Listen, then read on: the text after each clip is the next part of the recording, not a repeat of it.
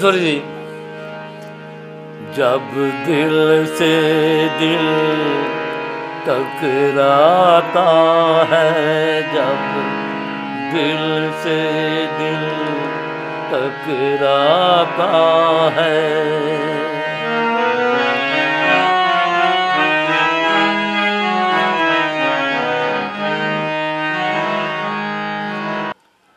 ਉਹ ਮੈਨੂੰ ਕਹਿੰਦਾ ਹੁੰਦਾ ਸੀ तलत महमूद कि बड़ा सिंगर से। तो मैदी हसन का आइडियल के जी पर दसा? मैदी हसन का आइडियल तलत महमूद हुआ मैदी हसन तलत महमूद की कापी करदा हूंदासीं अगर मैदी हसन दिता हूँ ना तो मैं कहना सुना भाई दूल्हे बइए हूँ वह बेटा है जी शवाक मैं नफसियात बंदे की पढ़ लेना मैं आशके रसूल हाँ आशकी अल्लाह। अल्लाह पाक कहते ने मैं वादूला शरीक हाँ मैंने किसी को शरीक नहीं बनाया मैं रब्बिल आलमीन हूँ रब्बिल आलमीन हूँ रब्बिल मुसलमीन नहीं ਜੇ ਤੁਹਾਨੂੰ ਸਾਡਾ ਚੈਨਲ ਤੇ ਸਾਡੀ ਵੀਡੀਓ ਪਸੰਦ ਆਈਏ ਤੇ ਸਾਡਾ ਚੈਨਲ ਸਬਸਕ੍ਰਾਈਬ ਕਰੋ ਤਾਂ ਕਿ ਸਾਡੀਆਂ ਆਉਣ ਵਾਲੀਆਂ ਨਵੀਆਂ ਵੀਡੀਓ ਤੁਹਾਨੂੰ ਬਰ ਵਕਤ ਮਿਲਦੀਆਂ ਰਹਿਣ ਬਿਸਮਿਲ੍ਲਾ ਰਹਿਮਾਨ ਰਹੀਮ ਨਾਜ਼ਰੀਨ ਤੁਹਾਡੀ ਖਿਦਮਤ ਚ ਹਾਜ਼ਰ ਹੈ ਤੁਹਾਡਾ ਹੋਸਟ ਬਾਬਰ ਬੇਗ ਔਰ ਤੁਸੀਂ ਵੇਖ ਰਹੇ ਹੋ ਆਪਣਾ A B H D TV ਔਰ ਮੈਂ ਅੱਜ ਮੌਜੂਦ ਹਾਂ ਜੀ ਲਾਹੌਰ ਔਰ ਤੁਹਾਡਾ ਤਾਰਫ ਕਰਾਉਣ ਜਾ ਰਿਹਾ ਮੈਂ ਅੱਜ ਇੱਕ ਐਸੀ ਹਸਤੀ ਨਾਲ ਕਿ ਜਿਨ੍ਹਾਂ ਨੂੰ ਅੱਜ ਤੋਂ ਕਈ ਦਹਾਈਆਂ ਪਹਿਲੇ ਦੀਆਂ ਗੱਲਾਂ ਲਾਜ ਤੋਂ ਅਗਰ ਅਸੀਂ 50 60 ਸਾਲ ਪਿੱਛੇ ਜਾਂਦੇ ਆ ਤੇ ਉਸ ਦੌਰ ਦੀਆਂ ਗੱਲਾਂ ਕਿ ਜਿਹੜੀਆਂ ਅੱਖਾਂ ਨਾਲ ਵੇਖੀਆਂ ਤੇ ਹੱਡ ਬੀਤੀਆਂ, ਉਹਨਾਂ ਗੱਲਾਂ ਦਾ ਸਾਨੂੰ ਪਤਾ ਲੱਗੇਗਾ ਕਿ ਜਿਸ ਤਰ੍ਹਾਂ ਕਿ ਅਸੀਂ ਅੱਜ ਗੱਲ ਕਰਾਂਗੇ ਮੁਹੰਮਦ ਰਫੀ ਸਾਹਿਬ ਦੇ ਹਵਾਲੇ ਨਾਲ। ਔਰ ਇਹ ਗੱਲ ਕਰਾਂਗੇ ਅਸੀਂ ਮੁਹੰਮਦ ਫਰੂਕ ਸਾਹਿਬ ਨਾਲ ਮੁਹੰਮਦ ਫਰੂਕ ਸਾਹਿਬ ਬਹੁਤ ਪੁਰਾਣੇ ਫਨਕਾਰ ਵੀ ਨੇ, ਬੜੇ ਅੱਛੇ ਆਰਟਿਸਟ ਵੀ ਨੇ।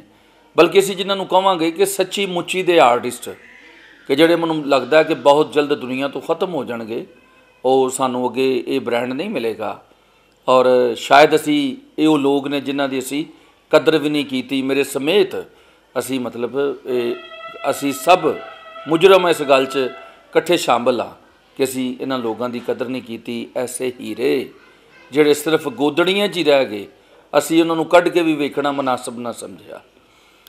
ਔਰ ਇਸ ਤਰ੍ਹਾਂ ਹੀ ਮੁਹੰਮਦ ਰਫੀ ਸਾਹਿਬ ਨੇ ਉਹਨਾਂ ਦੇ ਬਾਰੇ 'ਚ ਸਾਡੇ ਇੱਥੇ ਹੁੰਦਾ ਹੀ ਇਹ ਵੇ ਕਿ ਹਮੇਸ਼ਾ ਗਲਤ ਅਦਾਦੋ ਸ਼ੁਮਾਰ ਔਰ ਗਲਤ ਮਾਲੂਮਾਤ ਜਿਹੜੀ ਏ, ਉਹ ਲੋਕਾਂ ਨੂੰ ਦਿੱਤੀ ਜਾਂਦੀ ਏ।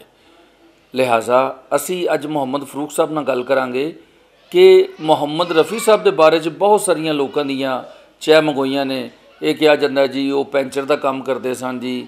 ਉਹ ਫਲਾਣੇ ਸ਼ਹਿਰ ਦੇ ਸਨ, ਉਹ ਫਲਾਣੇ ਫੈਸਲਾਬਾਦ ਦੇ ਸਨ, ਉਹ ਪਿੰਡੀ ਦੇ ਸਨ, ਉਹ ਲਾਹੌਰ ਦੇ ਸਨ। ਪਹਿਲਾਂ ਤਾਂ ਅਸੀਂ ਇਹ ਪੁੱਛਾਂਗੇ ਕਿ ਉਹ ਵਾਕਈ ਉਹਨਾਂ ਦਾ ਤਲਕ ਪਾਕਿਸਤਾਨ ਨਾਲ ਸੀ? ਅਗਰ ਪਾਕਿਸਤਾਨ ਨਾਲ ਸੀ, ਉਹਨਾਂ ਦਾ ਆਗਾਜ਼ ਕਿਸ ਤਰ੍ਹਾਂ ਹੋਇਆ? ਉਹਨਾਂ ਦਾ ਭੈਣ ਭਰਾ, ਪਿਓ, ਦਾਦਾ ਕੌਣ ਕੌਣ ਸੀ? ਕਿੱਥੇ ਕਿੱਥੇ ਸੀ? ਕੀ ਕੀ ਸੀ? ਇਸ ਹਵਾਲੇ ਨਾਲ ਅੱਜ ਅਸੀਂ ਇਸ ਹਕੀਕਤ ਤੋਂ ਜਿਹੜਾ ਉਹ ਪਰਦਾ ਚੱਕ ਕਰਾਂਗੇ। ਔਰ ਅਸੀਂ ਮੁਹੰਮਦ ਫਰੂਕ ਸਾਹਿਬ ਨੂੰ ਵੀ ਪੁੱਛਾਂਗੇ ਕਿ ਕਦੋਂ ਦੇ ਇਹ ਆਪਣੇ ਫਨ ਦੇ ਜੋਹਰ ਦਿਖਾ ਰਹੇ ਨੇ ਔਰ ਕਿਸ ਤਰ੍ਹਾਂ ਇਸ ਫਨ ਚ ਆ ਗਏ? ਕਿਸ ਤਰ੍ਹਾਂ ਇਹਨਾਂ ਦਾ ਤਲਕ ਕੀ ਇਹਨਾਂ ਦਾ ਪਿਓ ਦਾਦੇ ਤੋਂ ਹੀ ਕੰਮ ਸੀ ਜਾਂ ਸਿਰਫ ਇਹ ਹੀ ਆਪਣੇ ਖਾਨਦਾਨ ਚੋਂ ਆਏ ਤੇ ਉਹ ਗੱਲ ਕਰਨੇ ਆ ਮੁਹੰਮਦ ਫਰੂਕ ਸਾਹਿਬ ਨਾਲ अस्सलाम वालेकुम जी जी वालेकुम सलाम जनाब बाबर बेग साहब तशरीफ़ लाए ने मेरे वल मैंने बड़ी खुशी मेरे एक छोटे भाई नसार भट्ट साहब वो बड़े अच्छे दोस्त भी ने मेरे छोटे भाई की तरह ने नसार भट्ट बहुत बड़े अच्छे आर्टिस्ट भी ने इंटरनेशनल आर्टिस्ट ने वो उन्होंने बाबर साहब की बड़ी तारीफ़ की थी कि वो आज मैं उनको भेज रहा हूँ तो ज़रा सही आर्टिस्ट जो है ना, उनके मतलब कोई मालूम होनी चाहिए। तो सबसे पहले तो बेग साहब, आपसे मिलकर बहुत खुशी हुई है। आपने मेरे मतलब पूछा कि मैं इस लाइन में आया तो कैसे आया? तो शौक भी पड़ा तो कैसे पड़ा?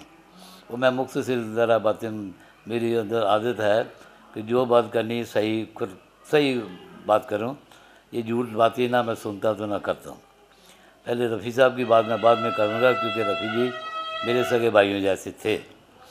अब बदीशी ने मेरा गाने का शौक़ पड़ा तो कैसे पड़ा मेरी जो शुरू में पसंदीदा सिंगर थी, वो जोरा जाना बाले वाली वो बेगम अख्तर थी। हमारे घर में ये रिकॉर्डिंग वाला बाजा होता था। वो मेरे चचा अब्दुल अज़ीज़ साहब को शौक़ था। वो ही लेकर आते थे गाने गुने वो चलाया करते। वो तवे वाले गाने जो होते थे। वो लगाया करते मेरी सात आठ साल की उम्र थी तो वो सुना करता था मैं तो फिर चला जाना उन्होंने उसके बाद मैंने खुद ही देख लेना किस तरह ये सुई बदलते हैं ये करते हैं किस तरह इसको चलाते हैं ਅੱਛਾ ਇੱਕ ਗੱਲ ਮੈਂ ਤੁਹਾਡੀ ਕਟਾਂਗਾ जी ਇਹ ਕਿਹੜੇ ਸੰਨ ਦੀ ਗੱਲ ਕਰ ਰਹੇ ਹੋ ਜਦੋਂ ਤੁਸੀਂ 7-8 ਸਾਲ ਦੇ ਸੋ ਤੁਹਾਡੀ ਮੈਂ- ਪਦਾਇਸ਼ ਕਦੋਂ ਦੀ ਹੈ मेरी पैदाइश जरी ना सही लोग तो नहीं बताते मेरी 28 जनवरी 1936 की पैदाइश है अट्ठाईस जनवरी उन्नीस सौ छत्तीस की पैदाश है। मैं जितनी बातें करूँगा ना आपसे मैं बड़ी करेक्ट बात करूँगा तो उनका चिजरा भी उसके आपके सामने पेश कर दूँगा। समझिए आप? लेकिन ये पता नहीं मैंने भी कब दुनिया छोड़ जानी है। मेरे दिल में आता है कि यार कुछ ना कुछ लोगों को दे की तो मतलब पचासी साल एज हो गई है। पचासी में मैं जा रहा हूँ। जी जी। अस्सी चौरासी साल तो पाँचवें महीने में जा रहा हूँ इस वक्त मैं। तो अभी मैं अपने आप को कमज़ोर लेकिन अभी मैं कमज़ोर नहीं हूँ। माशाल्लाह। क्योंकि मेरा तलक ज़्यादा अल्लाह पाक से है तो हजूर पाक से मैं आज के रसूल भी हूँ। माशाल्लाह। तो बाकी ज़िंदगी में मैंने बड़ा कुछ देखा गाने में बता रहा था। उम्र भी आपने मेरी पूछ ली है तो बता भी दिए मैं अंदरून मोची गेट लाल खूह गली लठ मारा। उस उस उस गली के अंदर मेरी पैदाइश हुई थी। मंगल वाले दिन, बसंत का दिन था। समझ गए आप? तो गाने का शौक़ भी आपको बता दिया। वो चचा मेरे रिकॉर्डिंग लगा, लगाया करते थे। शौक़ मुझे बढ़ता। जब आठ साल की उम्र गया, नौ साल की उम्र में गया दस साल की उम्र में मुझे शौक़ बहुत बढ़ गया था। इतना ज़्यादा बढ़ गया था कि मैं मैं अपनी तारीफ़ नहीं कर सकता। कि लोगों ने बोला कि ये तो बहुत अच्छा गाता है। ग्यारह साल का हो गया, बारह साल का हो गया, उस वक़्त मैं गाने जितने भी होते थे ना, वो बड़ साहब, मैं, बेग साहब, मैं गाने इस तरह गाने गाता था जिस तरह ये मेरे अपने गाए हुए गाने, इतना शौक़ मेरा बढ़ गया था। उसके बाद फिर मैं फिफ्टी थ्री फोर में अंदरून भाटी के मोची गेट स्कूल था वहाँ पे, मल्ला शिया में, प्राइमरी स्कूल। फिर मैंने चहारम वहाँ से की तो उसके बाद फिर मैं शेर हाई स्कूल आ गया। वहाँ से फिर मैट्रिक किया मैंने। उस वक्त मेरी 1925 25 नौ पचपन को ग्रामफोन कंपनी का मैं एज ए सिंगर बन गया था। इससे पहले मैं लाहौर के अंदर Y M C hall Alhamra, open air theatre, ये तीन जगह होती थी लाहौर में। सबसे ज़्यादा यही प्रोग्राम होते थे। उस वक़्त मेरा नाम लिया जाता था एम ई ओ फारूक के नाम से। नाम तो मेरा मोहम्मद उमर फ़ारूक है। लेकिन लंबा हो जाता इसी एम यू फ़ारूक के नाम से मैं चलता था। अभी मेरे पास वो रिकॉर्डिंग के पब्लिसिटी के है ना प्रोग्राम उसमें एम यू फ़ारूक ही आता था तो मुझे याद है कि मैं उन्नीस सौ पचपन में नमाइश लगी थी मिंटो पार्क में। ये रंगीला नहीं है रंगीला? ये उस वक्त थिएटरों के अंदर ये खुसरों के साथ ये नाचा टाका था करता था। ये रंगीला। रंगीले का नाम सईद है सईद खान। जी सईद खान। ये पीछे अफ़गानिस्तान का रहने वाला है। अल्लाह। पीछे अफ़गानिस्तान का रहने वाला है। ये ये पेंट्री का काम भी करता था ना रंगीला सईद इसका नाम था। ये भी वहाँ होता था एक जग्गी मलक होता था नाम सुना होगा? जी जग्गी मलक। जग्गी मलक भी शौक बड़ा करते थे। वो भी मेरे वहीं दोस्त बने। फिर नमाइश की आवाज़ में जब आया ना उस वक्त मेरे बाबर साहब मेरे शुरू से मुश्किल तरीन जो गाने होते थे ना, मैं वो गाया करता था।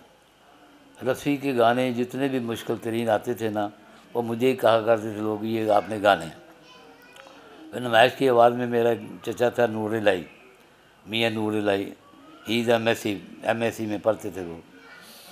उसके बाद वो दोस्तों ने बोला, यार फारूक को इधर लेकर आओ, इधर सुनाओ लो जी, मैं जब नमाइश की आवाज़ में आया तो वहाँ पे अल्लाह ताला ने मेरी बड़ी इज़्ज़त दी, बहुत ज़्यादा। 1955 की बात हो रही है। तो वहाँ पे एक म्यूज़िक डायरेक्टर थे, हसन लतीफ़ लेलक। हसन लतीफ़ लेलक म्यूज़िक डायरेक्टर उन्होंने मुझे दो बार सुना जब नुमाइश की आवाज़ में तो उसने एक आदमी को बोला जो गेट के ऊपर था, कि यार इस लड़के को मैंने मिलना है। इसके साथ मुलाकात हो सकती है। उन्होंने कहा, जी, मुलाकात मैं करवा देता हूँ। मैंने बोला, यार, सौ सौ आदमी बाहर खड़ा है इसके इंतज़ार में। तो इसको किस तरह मिलना है? तो नहीं मिल सकता। फिर वो उसने बोला, जी, फारूक अभी आएगा तो मैं इससे मिलाऊँगा। फिर जब आया तो मुझे मिलाया गया। कि उसने बोला मेरा नाम हसन लिलक है, मैं कंपोज़र भी हूँ। तो यार आपका गाना मैंने सुना है दो बार, दो दहा यू आर ग्रेट आप बहुत अच्छे सिंगर हैं तो मैं मैं अपनी फ़िल्म के गाने लूँगा। मुझे कहने लगा, मैंने कहा, ठीक है, अगर कहेंगे तो मैं ज़रूर गाऊँगा। कहने लगे कल आपने मेरे घर आना है सुबह। करीम पार्क मेरा अभी ना करीम पार्क? करीम पार्क मेरा घर है ये मेरा एड्रेस है ये है वो है। आपने उधर मेरे साथ नाश्ता करना है। आप देखो सौ सौ आदमी पीछे लगा हुआ आपके। मैं कहा अच्छा मैं करीम आऊँगा मैं कल आपके घर आऊँगा। नाश्ता तो मैं करके ही नहीं जी बहरहाल। गया नाश्ता नुश्ता मुझे कराया। तो अपनी बीवी बच्चों को कहना ये लड़के की मैं बात कर रहा हूँ। कि ये सबसे बड़ा सिंगर आई है। ये देखो। बहरहाल, मुझे कहने लगे, यार, कल आपने मेरे पास आना है। हसन लतीफ़ लिलक ने बोला, कल मेरे पास आना है। नेशनल एकेडमी ऑफ़ म्यूज़िक, दो मिकलो रोड। मैं कह, जी, मैं आ जाऊँगा कल। जब वहाँ गया तो वहाँ मनीर न्याजी, हसन लतीफ़ लिलक तालिश साहब आगा अब्बास साहब का नाम ताल, अब्बास का नाम तालिश है। आगा अब्बास तालिश कहने लगे ये भी वहाँ बैठे हुए अलाउद्दीन पापा हसन तारक क्या बात है। ये भी वहीं एक और थे यानी आठ दस सारी फ़िल्म इंडस्ट्री के आदमी थे। कहना लो जी ये लड़के को मैंने कल बोला था ना आ गया। बाजा मेरे आगे रख लिया मैंने बाजा पकड़ के गाना शुरू कर दिया। मुझे मनीर न्याजी ने हसन लतीफ़ अपना ताले साहब ने रियाज शाह शान के वाले ये सारे बैठे हुए थे, इन्होंने मुझे बड़ी दाद दी। कहना, फ़ारूक साहब, इन्होंने जो बोला था, बड़ा कुछ, खुशी हुई है। हमारी फ़िल्मों के गाने सारे आपने गाने हैं। मैंने कहा, ठीक है जी। फिर मनीर न्याजी ने मेरे ऊपर गाना लिख लिया, जिसने मेरे दिल को दर्द दिया। उस शक्लों को मैंने बुलाया नहीं। ये मेरे ऊपर गाना लिखा, मनीर न्याजी ने। अरे, आशाहिद जो थी, वो भी मेरे बड़े, मेरे आने जाने में मैं हर वक्त रोज़ ही जाता था वहाँ। वो बेग साहब फिर मेरा, इनके साथ दोस्ती इतनी बढ़ गई तो बहुत ज़्यादा। फिर मैंने इनको बोला, जी, मैं तो जा रहा बम्बई चला जाना मैंने। तो क्योंकि मेरे वहाँ पे दिलीप कुमार साहब मेरे बड़े भाइयों जैसे हैं तो मैं, मेरा उनके साथ फैमिली से लगा, दिलीप कुमार साहब से। तो मैंने तो इंडिया चला जाना, बम्बई। मैंने तो इधर नहीं गाना मैंने कहा। तो फिर वो कहने लगे, नहीं यार, हमारे गाने कुछ करो, ये करो। मैं फिर उन्नीस सौ सतवंजा फिफ्टी सेवन में बम्बई चला गया मैं। बम्बई कैसे गया मैं? दिलीप कुमार साहब के चचा थे, सगे चचा। दिलीप कुमार साहब के वाले साहब का नाम था गुलाम सरवर ख़ान। इनके चचा का नाम था गुलाम महीउद्दीन गुलजी। पुल पख्ता पेशावर में इनका अपने आरत की दुकान थी, पेशावर। मैंने लेटर, मेरे वाले साहब के दो भाई बने हुए थे। उन्होंने बोला कि ये जाना ये तो इधर नहीं रहेगा ये बम्बई चला जाएगा। मुझे चाचा ने बोला कि नहीं तूने नहीं जाना। चौड़ होना है तू उत्थे जाके। पंजाबी बोलते थे ना आपस में। तो मैं कहा नहीं चाचा मैंने इधर रहने यूसुफ भाईजान के पास ही जाना मैंने। फिर उन्होंने बोला कि वाले साहब ने बोला कि चल यार इसको जाने दो उधर। फिर सबसे पहले फिर मैं दिलीप कुमार साहब के पास बम्बई गया था रुका लेके। फिर सबसे पहले इनके बड़े भाई दिलीप कुमार साहब की जो क्राफर्ड मार्केट में आरत की दुकान थी इनकी। उनका नाम था नूर मोहम्मद। दिलीप साहब के सबसे बड़े भाई का नाम नूर मोहम्मद था। नूर मोहम्मद। नूर मोहम्मद। फिर उनको जाके मैं मिला इस तरह फिर उन्होंने बोला कि आप आ गए हैं? मैं कि जी आ गए हैं। कहते यार फिर फलूक यूँ करते हैं कल चलेंगे। फिर दूसरे दिन हम पाली बांद्रा दिलीप कुमार साहब पाली बांद्रा रहते थे। फिर मुझे दिलीप कुमार साहब के पास लेके चले गए। मुझे याद है अभी तक भी शूटिंग हो रही थी। तो मेरी शैगल था एक डायरेक्टर फ़िल्मों का बहुत बड़ा इंडिया का। अच्छा जी। वो भी बैठ वहाँ बैठे हुए। दिलीप कुमार साहब को नूर साहब ने बोला कि फल यूसुफ वो दिलीप साहब का नाम मोहम्मद यूसुफ खान था ना? मैंने बोला यूसुफ फलूक भी आया है। कहना किधर है? मैं ये बुलाया आजा मिले मिले। दिलीप कुमार साहब ने आपस में गले गुले मिले। खैर खरी पूछी साहब ये वो। उसके बाद फिर दिलीप साहब ने मुझे बोला मैंने बोला, यूसुफ हाजी अगर सच्ची मुझे कहने लगे, म्यूज़िक में कौन अच्छा लगता है आपको? दिलीप कुमार साहब ने एक रुका लिखा, नौशाद साहब के नाम, मुझे नहीं बताया मुझे कहने लगा, कौन कौन सा म्यूज़िक अच्छा लगता है आपको? लगे यूसुफ हाजी मैंने तो म्यूज़िक नौशाद साहब पसंद है कि तो मैं नौशाद साहब ही। आया मैंने बोला, मैं नौशाद साहब के लिए आया। तो दिलीप कुमार ने मुझे लेटर दिखा कि ये देखो क्या है। लिखा मेरे नाम का लिखा हुआ लेटर तो फिर मैंने बोला फिर यूसुफ भाजी मैं दिलीप कुमार साहब ने कहा यूसुफ आजी पंजाबी बोलते थे ना मैं भी को भी। मैं कहा नहीं नहीं यूसुफ भाजी मैं अज शाह साहब ने अज ही मिलना है। कह लगा यार कल मिलना ना। फिर वो सतार दिलीप कुमार बहुत अच्छी बजाते थे बहुत ज़्यादा। अच्छा वो बहुत अच्छी। वो भी थोड़ी सी आपको बताता हूँ बाद में। वो सितार कहने लगे रमेश सैगल कहने लगा जी सितार सुना सितार मैं हंस के क्या मैं कहना जी नहीं मैं सिंगर ही गा कि मैं कोई बाथरूम सिंगर तो नहीं गा बाजा पिया होंदा ते मैं गाना सुनांदा था ਉਹ ਫਿਰ ਕਹਿੰਦਾ ਨੌਸ਼ਾਦ ਸਾਹਿਬ ਆਏ ਸਨ ਵਾਜਾ ਉਹ ਲੈ ਗਏ ਨੇ ਨਾਲ फिर नौकर ने बुलाया इधर आओ कि फारूक को जाके नौशाद साहब की कोठी लेके जाओ नौशाद साहब की मैं फिर वो नौकर के साथ नौशाद साहब की कोठी आया तो नौशाद साहब उस वक्त पहली बार मुलाकात होने लगी। नौशाद साहब बाहर आ रहे थे गाड़ी में तो मैं मैं ज़रा यंग था, बिल्कुल यंग था उस वक्त। मैंने इस तरह हाथ किया तो नौशाद साहब ने गाड़ी खड़ी की तो मैंने रुका लेके मैं कही ये पढ़ लें जब रुका, नौशाद साहब ने पढ़ा, दिलीप कुमार साहब का तो नौशाद साहब बाहर आ गए। तो कहने लगे, फारूक, आप आए हैं? मैं कहा, जी, आया मैं, नौशाद साहब। मैं तो सोच नहीं सकता कि मैं आपके सामने खड़ा हूँ। नौशाद साहब मेरे साथ हाथ में ला के कहने लगे नहीं नहीं नहीं आप तो मुझे पता चल गया तो अब क्या प्रोग्राम है? कि मैं आपके पास ही आया हूँ। तो इस तरह करते करते फिर नौशाद साहब से मेरे ताल्लुक बहुत बढ़ गया।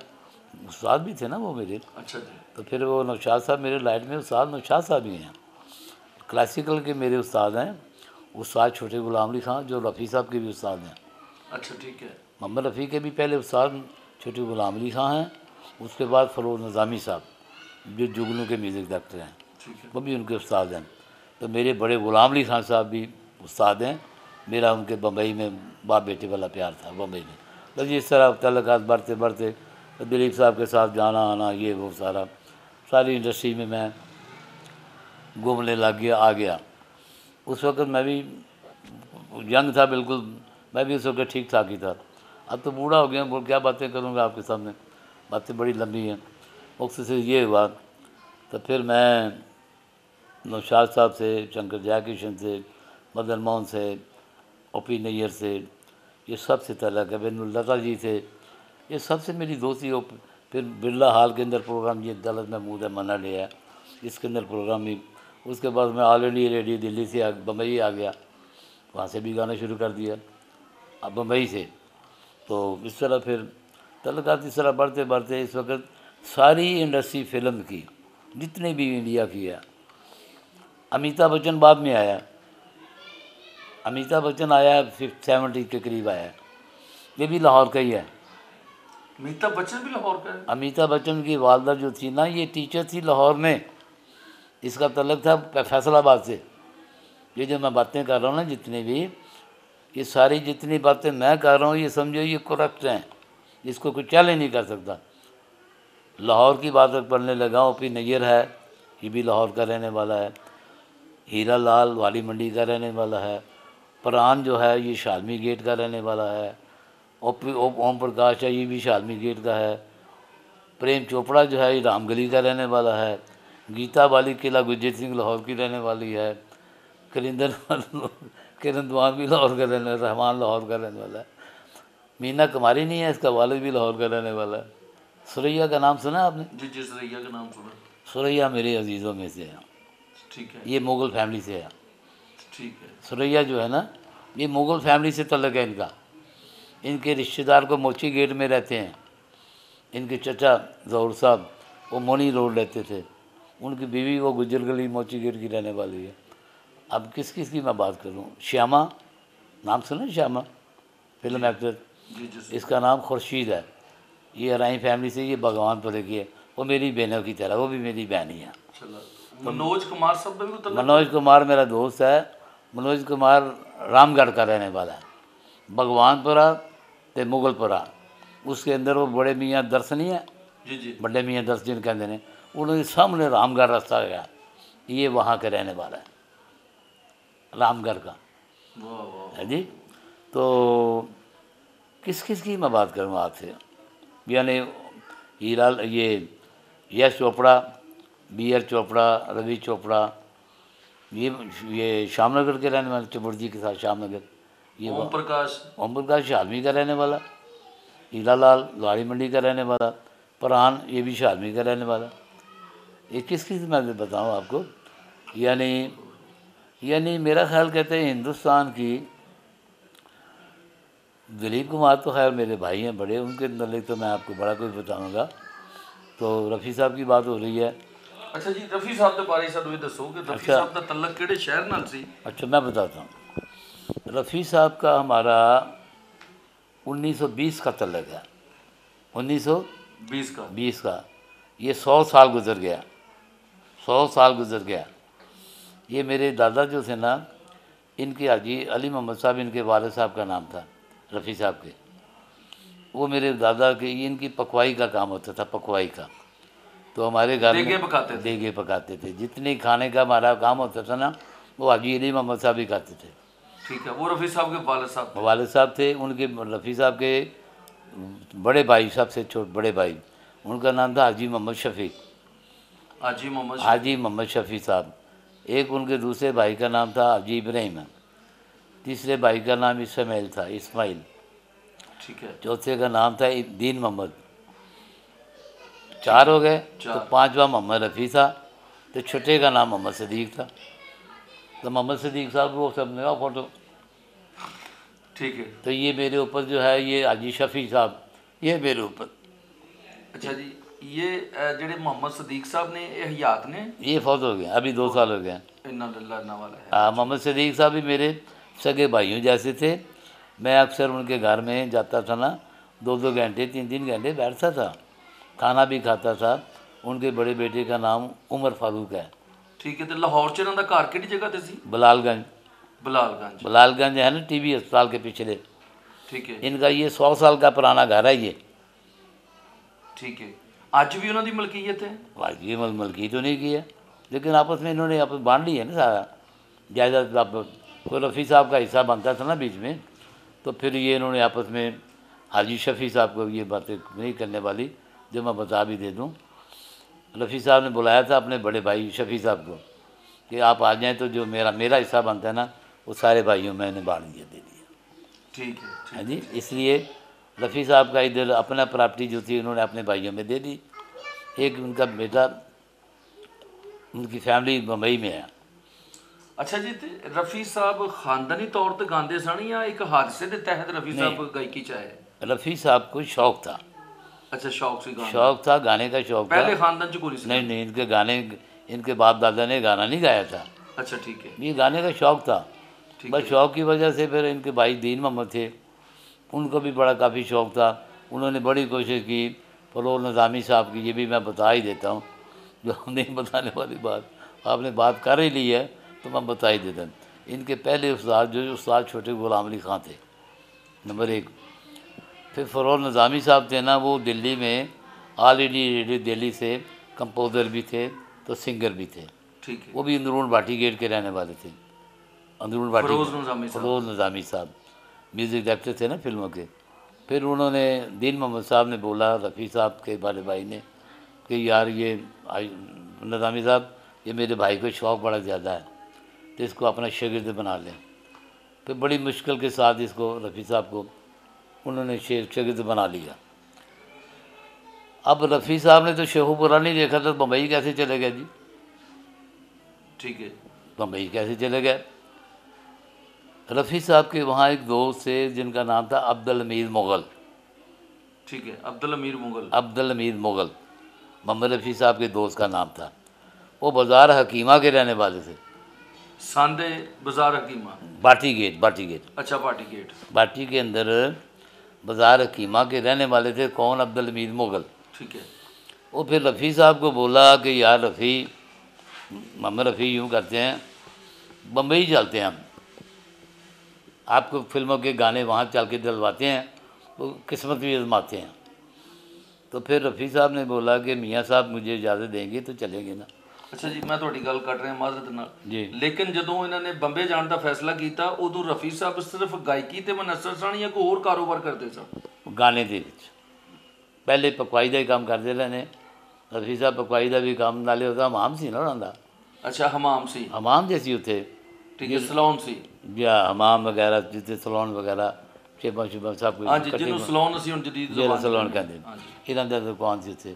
ਉੱਥੇ ਪਕਵਾਈ ਦੇ ਕੰਮ ਵਿੱਚ हाजी शफ़ी हाजी इब्राहिम ते वाले साहब वो ज़्यादा कम वो करते सन अखवाई का कम। ठीक तो दीन में मगी उसे बहते सन मखसूसर गाल ये आपने पूछा ना कि इनको गाने का शौक़ था ये वैसे ख़ानदानी शौक़ था। ख़ानदानी शौक़ नहीं था। इस तरह फिर वहाँ पे लाहौर के अंदर कौन कौन सी जगह पे ये गाते थे? इनके घर के नज़दीक थी दादा साहब के जहाँ पे दरबार है ना दरबार से थोड़ा आगे हॉस्पिटल आता है। हॉस्पिटल देखा आपने? हाँ हॉस्पिटल के थोड़ा सा आगे जाए ना वहाँ पे एक आता है खिड़कड़ी पीर। खिड़कड़ी पीर। खिड़कड़ी पीर। दरगाह थी छोटी जी पाँच मरले छः मरले जगह थी। उसका नाम है खिड़कड़ी पीर। खिड़कड़ी पीर भी वहाँ बैठ के गाना गुना गाया करते थे। मोहम्मद रफ़ी थे एक होता था खादम हुसैन। खादम हुसैन वो कस्बी आदमी था। ठीक है। वो ख़ानदानी आदमी था। वो भी बहुत अच्छा गाने वाला था। वो रफ़ी साहब को भी गाने देता या नहीं? बहरहाल ये भी लंबी कहानी हो जाएगी। वो भी गाने भी वहीं गाते थे। उसके बाद अली भाई कसूरी था ये फ़ोटो जिसकी तबला नवाजी है पीछे मेरे। ये अली बैक्स भी वहाँ होता था। फिर अली बैक्स के साथ रफ़ी साहब की आपस में गपशप हो गई कि चलो अभी जितने भी प्रोग्राम हैं मेरे साथी तो मैं तबला बजाऊँगा। फिर ये लाहौर से खिरकड़ी पीर के बाद अंदरून मच्छी गेट, एक जगह थी जहाँ लाहौर वालों को बड़ा शौक़ था गाने बजाने का। तो खाने पीने का भी लाहौरियों का बड़ा शौक़ है ना, आपको पता है। वहाँ बैठ के तो अली बेस को बोला कि भाई, हमें कोई अच्छा सी आवाज़ सुनाओ, कोई नहीं आई है तो। कहना, मोहम्मद रफ़ीक मेरा दोस्त है जी, भाई है मेरा वो वो बड़ा अच्छा गाता है। फिर रफ़ी साहब को वो ले ले के फिरता था वो ले के खिरकड़ी पीर के बाद मोची दोजार चौक नवाब साहब ਜੀ जिसका नाम था कुकर कमेटी वहाँ हर जुमे को हर हफ्ते को मुर्गे पकते थे तो पंजाबी में कुकड़ कहते ने ना पंजाबी ਕੁੱਕੜ कुकड़ कहते ने ਉਹਦਾ ਨਾਂ रखा थी कुकड़ कमेटी ये सुनने वाली चीज़ है आपके जो किसी को नहीं पता जो कुछ सुनेगा उसको पता चलता है कि जो मैं बातें कर रहा हूँ ना, ये हकीकत है। इसके बाद जो गाल बात करेगा ना, वो सरासर झूठ बोलता है। अगर झूठ बोलता है तो मैं सवाल इससे करूँगा तो मुझे जवाब दे दे कोई। कोई जवाब नहीं दे सकता। ये कुकड़ कमेटी में हफ़्ते की हफ़्ते रात को कुकड़ वगैरह पकते थे तो अली बे कसूरी जो होता था, ये साथ तबला बजाता था कुकड़ कमेटी में। उसके बाद फिर और दो तीन जगह थी, वहाँ जाया करते इस तरह लाहौर के इस तरह रफ़ी साहब आए। तो अब हमीद साहब के पास आ गए। हमीद ने बोला कि, यार रफ़ी, यूँ करते हैं मेरे भाई, हम चलते हैं उधर, मुंबई। क्योंकि फरोल नज़ामी साहब भी आए हुए हैं तो आप पीछे चलते हैं। फरोल नज़ामी साहब दिल्ली से आए हुए थे। तो मियाँ साहब ने बोला, अगर तुम कामयाब होगे, फिर लाहौर आना।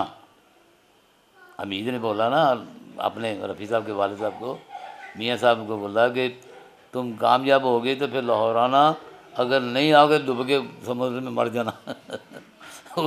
वापस नहीं आना आपने। अब जब वो खुदा का भला है उसने बोला चलो जी ये शरीफ गजनवी साहब आपको ये भी बताऊँ शरीफ गजनवी जैसे हीर किसी ने नहीं गाई। वाह वाह वाह। शरीफ गजनवी साहब ने हीर वार शाह किसी जगह नहीं गाई गई।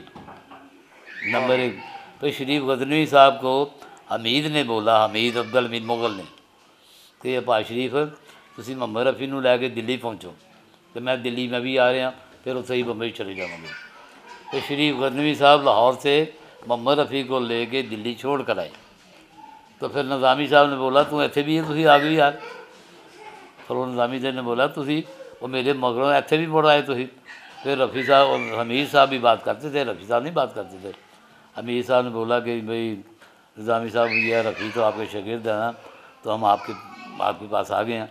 कहना, मैं तो बम्बई जा रहा हूँ। तो तुम बम्बई, वो बम्बई भी चले गए, ये भी बम्बई चले गए, पीछे पीछे। शरीफ गजनी इधर छोड़ के वापस लाहौर आ गए ना तो इस तरह करके ये फिर बड़ी, वहाँ बड़ी तकलीफ़ उठाई। बेग साहब, इतनी तकलीफ़ उठाई, इतनी तकलीफ़, बहुत ज़्यादा, मोहम्मद रफ़ी साहब ने, अमीर ने इतनी तकलीफ़ उठाई कई बातें और हैं वो मैं नहीं करूँगा इसलिए क्योंकि वो रफ़ी भी मेरे भाई थे। रफ़ी साहब भी मेरे सगे भाइयों जैसे थे। हमीद भी मेरे तब रफ़ी साहब भी मेरी पहले की मुलाकात थी लेकिन जब मैं भी बम्बई आया ना तो फिर सब हम इकट्ठे ही आ गए ना फिर। जब हम आपस में बैठते थे ना आपस में रफ़ी साहब तो मैं हमीद रफ़ी साहब के घर की बात हो रही है। तो अपनी पुरानी यादें करते थे बताते थे। कि मैं ये मुसीबत है, मुझे ये मुसीबत पड़ी, मुझे ये मुसीबत पड़ी तू तो वहाँ से आके चौड़ा होकर बैठ गया ना। मुझे कहना, तू तो चौड़ा होकर बैठ गया ना। असी बड़िया बड़िया तकलीफा देखिए ने। फिर एक दिन हमीद मैंने कह लगा, रफ़ी तो हमीद तो मैं रफ़ी साहब के घर बैठे हुए, बंदर, ये बंदर में रहते थे ना रफ़ी साहब। रफ़ी साहब के घर बैठे, खाना खुना खाने के बाद आपने जब चाय वाय पी के ना तो पुरानी पुरानी दास्तान शुरू कर दी।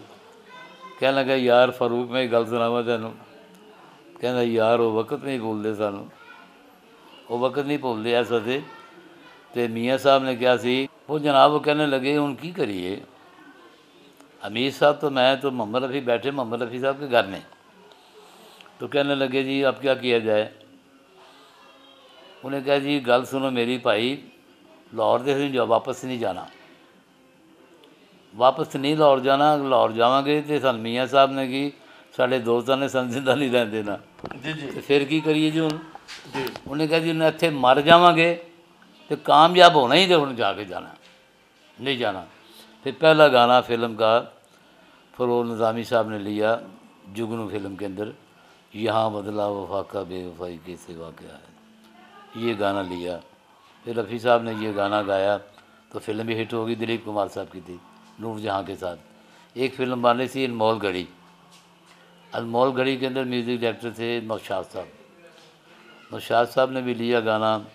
वो जो रेडी वाला गाना मुझे गाता है, तेरा खिलौना टूटा बालिक तेरा खिलौना टूटा, ये गाना उसके लिया। उसके बाद फिर आस्ता आस्ता फ़िल्में मेला उन्नीस सौ अड़तालीस में आ गई फोर्टी एट में। उसके अंदर एक ही गाना था मोहम्मद रफ़ी साहब का, ये ज़िंदगी के मेले। ये गाना तो बाकी मुकेश के गाने थे। उसके अंदर दिलीप कुमार ही थे। फिर नौशाद साहब ने चांदनी के चांदनी रात में फ़िल्म आई थी। उसके गाने लिए और भी गाने लिए। काफ़ी गाने उसके बाद।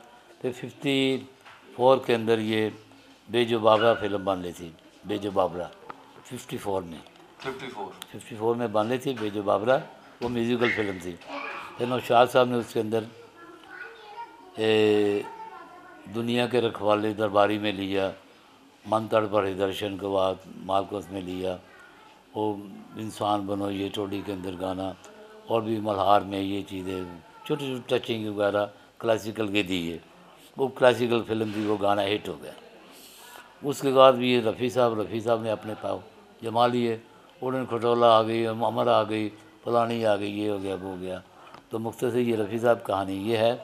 रफ़ी साहब की शादी उधर ही हुई थी बम्बई में। रफ़ी साहब के रफ़ी साहब की पहली शादी रफ़ी साहब की चचा की बेटी से हुई थी। ठीक है। रफ़ी साहब की पहली शादी चचा की बेटी से मोहम्मद रफ़ी साहब के चचा की बेटी से हुई थी। उनका एक बेटा था उसका नाम था सईद। सईद। सईद रफ़ी मोहम्मद सईद रफ़ी। वो इधर ही थे दादा के पास ही थे इधर उसके बाद फिर जब रफ़ी साहब ने अपने पाँव जमा लिए तो फिर उधर शादी उसके अंदर फिर रफ़ी साहब के दो बेटे थे तो तीन बेटी थी। मेरे सामने तो बच्चे थे ना छोटे छोटे। मैं जब बम्बई में मैं भी होता था। तो फिर लेकिन इस तरह मेरा तलक तो रफ़ी साहब की फैमिली से बहुत ज़्यादा था ना। बहुत साल सौ साल का तो तलक है। तो जेडे रफ़ी साहब बेटे सर मोहम्मद सईद साहब? ये वो अभी भी चले गए थे उधर ही। ये भी तो चले इधर चले गए। फिर बम्बई से ये इंग्लैंड चले गए। बड़ा हो गया था ना ये भी। ये भी उस वक्त बच्चा था ये चला गया इंग्लैंड। फिर इसके बेटे उनका नाम सईद के बाद खालद था एक लड़का खालद। अच्छा। और खालिद रफ़ी वो भी उसकी भी डेथ हो गई थी। तो एक बेटा उनका शाहिद है सबसे छोटा शाहिद रफ़ी ये है। तो रफ़ी साहब की शादी जो हुई थी ना वहाँ बम्बई में हुई थी वो। तो हमीद अब्दुल हमीद जो मुग़ल था ना उसकी शादी मोहम्मद रफ़ी की बीवी तो अब्दुल हमीद मुग़ल की बीवी ये फ़र्स्ट कज़न है आपस में। अच्छा। ये फ़र्स्ट अच्छा अच्छा। पहले मोहम्मद रफ़ी के साथ हर वक्त हमीद मुग़ल ही जाता था। एज ए मैनेजर भी भाई भी यानी ऑल इन ऑल हमीद साहब ही थे। उसके बाद भी आपस में थोड़ा सा नाराज़गी सी हो गई। मैं तो कहता हूँ दोनों वो मेरे भाई थे रफ़ी भी मेरा भाई था हमीद भी भाई था वो। तो फिर इन्होंने आपस में ये दलीप कुमार ये रफ़ी साहब को छोड़ के तो ये बेंगलोर चले गए थे। कौन? अब्दुल हमीद मुग़ल। अब्दुल हमीद। बेंगलोर चले गए वहाँ जाके लोहे का काम शुरू कर दिया। ये मुग़ल थे ना ये? अच्छा ठीक है। उसके बाद फिर ये अपना हमीद साहब ने इंग्लैंड बेंगलोर को छोड़ के कैनेडा चले गए। कैनेडा। अब ये कनाडा चले गए तो मोहम्मद रफ़ी के साथ ये शाहिद होते अपना तो क्या बोला मैंने? नसीर दूसरे नाम? आ, दो भाई थे ये। ये ये रफ़ी साहब के साथ यही चलता था। तो ये मेरे लिए तो जब मैं रफ़ी साहब के घर से आता था ना तो ये मुझे टैक्सी लेकर करता टैक्सी टैक्सी ला के दिया मैं रफ़ी भाई को। यार मैं नीचे से टैक्सी ले लूँगा। मन्ना डेढ़ को नहीं नहीं नहीं नहीं। जही टैक्सी उसका नाम जहीर था। नाम याद रखें। जहीर तो नसीर। ठीक है। रफ़ी साहब के साले का नाम जहीर था। दूसरे का नाम नसीर था। नसीर और जहीर। जहीर जो था ना ये रफ़ी साहब के साथ ही होता था। यही सारा कुछ आली नाल यही करता था वो। रफ़ी साहब तो एक गोंदल आदमी शरीफ आदमी थे लेकिन वो बड़ा शरीफ आदमी था। लेकिन मुझे मेरी फ़िल्मों के मैं भी फ़िल्मों के गाने शुरू आ गया ना मैं भी। मैं भी ज़रा शौक म्यूज़िक में आ गया था। फिर सज सज्जाद हुसैन संग दिल वाले। ठीक है। फिर मैं उनका चीफ असिस्टेंट आ गया एज ए म्यूज़िक डायरेक्टर। फिर मैं उन्नीस सौ बाबर भाई, मैं उन्नीस सौ इकसठ में एज ए मद्रास आया, गाने के लिए गया। उस वक्त मैं वो उस पोजीशन में था, वो सब में भी उस वक्त ठीक ठाक अच्छा ही था। वो गाने के लिए गया मद्रास तो एस एस वासन से S S Vasan producer director थे वो मेरे एक मिलने वाले थे डॉक्टर मोरकर मराठा थे। उन्होंने मुझे बोला कि ये रुका लेके वासन के पास जाओ। वो तो मैं खाने देगा। उन गाने के लिए भी मुझे बता दिया तो एज ए हीरो भी सिलेक्ट कर दिया तो मेरी तनख्वाह पता कितनी थी? सात हज़ार। सेवन थाउज़ेंड पर मंथ अच्छा तो तनख्वाह मिलती थी। उर्दू तो तनख्वाह। तो सेवन थाउज़ेंड पर मंथ उस वक्त नब्बे रुपये तोला सोना था। कितने लाख बनेगी? दिलीप कुमार उस वक्त लेके थे तेरह लाख रुपया म्यूज़िक का फ़िल्म का। तेरह लाख म्यूज़िक का नहीं फ़िल्म का। दिल्ली रफ़ी साहब लेती थी तीन हज़ार पर सॉन्ग लता भी लेती थी इतना। तो उसके बाद फिर मैं जब मैं भी आया फ़िल्मों के अंदर मुझे भी गाने मिले। फिर फ़िल्म बनी थी मुगल आज़म। गंगा जमुना फ़िल्म आई थी ना मुगल आज़म। जिंदाबाद जिंदाबाद। ए मोहब्बत जिंदाबाद। तो नौशाद साहब ने बोला अपने असिस्टेंट को शफ़ी को कि भाई वो फ़ारूक को बुलाओ कि गाने के कुछ गाने के अंदर लाइन तुम्हारी भी जाती है। ये गाने के अंदर। रफ़ी की तो मेरी दोनों लाइन की इकट्ठी जाती है। लेकिन बेग साहब आपको हैरानगी होगी मोहम्मद रफ़ी तो माए की रेंज के गाने वाले हैं। हमारी आवाज़ भी दोनों की तकरीबन तकरीबन अगर इक्की नहीं मिलती तो उन्नीस भी नहीं मिलती थी। हमारी आवाज़ों में ये शक्ल थी। हमारी लेकिन मैं अगर ज़िंदा रह जाता रह जाता तो रफ़ी को पता था ये बैठा हुआ मेरे सामने। ये बैठा हुआ है। अब मैं बता देता हूँ आपको। एक बात ये हो गई तो मैंने शफ़ी साहब मुझे मिले, नौशाद साहब के असिस्टेंट थे। कहना, नौशाद साहब नाराज़ हैं आपसे। मुझे कहने लगे। मैं कह, जी, नौशाद साहब नौशाद साहब नाराज़ क्यों हो गए मेरे साथ? कहना, बस मेरे बात नहीं जाके पूछ लो जाके। मैं नौशाद साहब के पास आया ना, जिंदाबाद जिंदाबाद है, मोहब्बत, जिंदाबाद। नौशाद साहब ने बोला, ये देख, जब काम होता है तो तुम भाग जाते हो। अगर नौशाद साहब, मुझे तो पता ही कोई नहीं, मुझे शफी भाई ने बोला है कि वो नौशाद साहब नाराज़ हो गए हैं। चलो ये पकड़ो, ये गाना गाना पकड़ो, ये पकड़ो, चलो रफ़ी भाई के साथ आ जाओ। मैं, हमारा आपस में रफ़ी साहब के साथ दोस्ती भी थी ना, मज़ाक भी था। मैं क्या पापे तेरना तो मैं नहीं गाने मज़ाक पे करना। कहना बाबे खुदा दे वाते जल्दी ना चलाएँ थे अगर अच्छा रफ़ी की गल मोहम्मद रफ़ी की बात हो रही है। लेकिन ये दे, हमारा ये पोजीशन थी, हम क्या कर रहे थे? आप देखो। ये गाना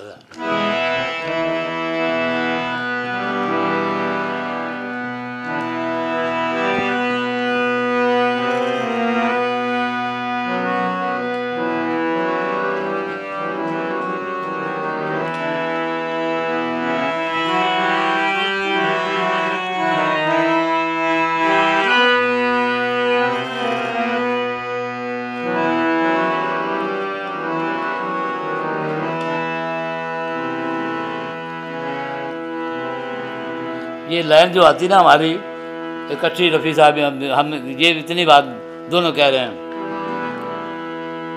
जिंदाबाद जिंदाबाद मोहब्बत जिंदाबाद मोहब्बत जिंदाबाद जिंदाबाद जिंदाबाद।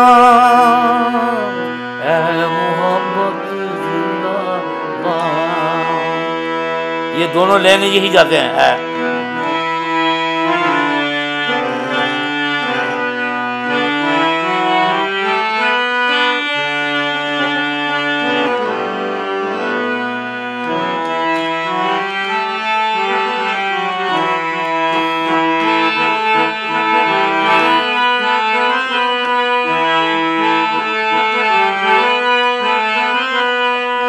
हम इकट्ठे आ गए जिंदाबाद जिंदाबाद ए मोहब्बत जिंदाबाद ए मोहब्बत ज़िंदा जिंदाबाद जिंदाबाद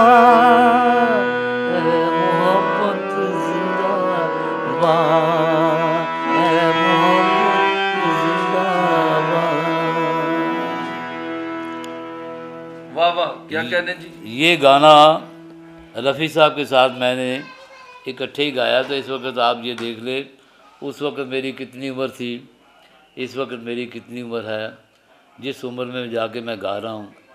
अभी मुझे दुख बड़ा हो रहा है कि मैंने ज़िंदगी में बड़ा ज़्यादती की है, अपने साथ बड़ी ज़्यादती की है। जब मैं, ये तो गाना उन्नीस सौ, ये मेरे मुगल आज़म, मेरे हाथ की फ़िल्म है। ये कियासत की फ़िल्म है ना ये? तो दिलीप कुमार साहब उसमें हैं, मीना कुमारी भी उसमें है, नगार सुल्ताना भी, नहीं मधुबाला थी इसमें तो साथ में नगार सुल्ताना थी वो।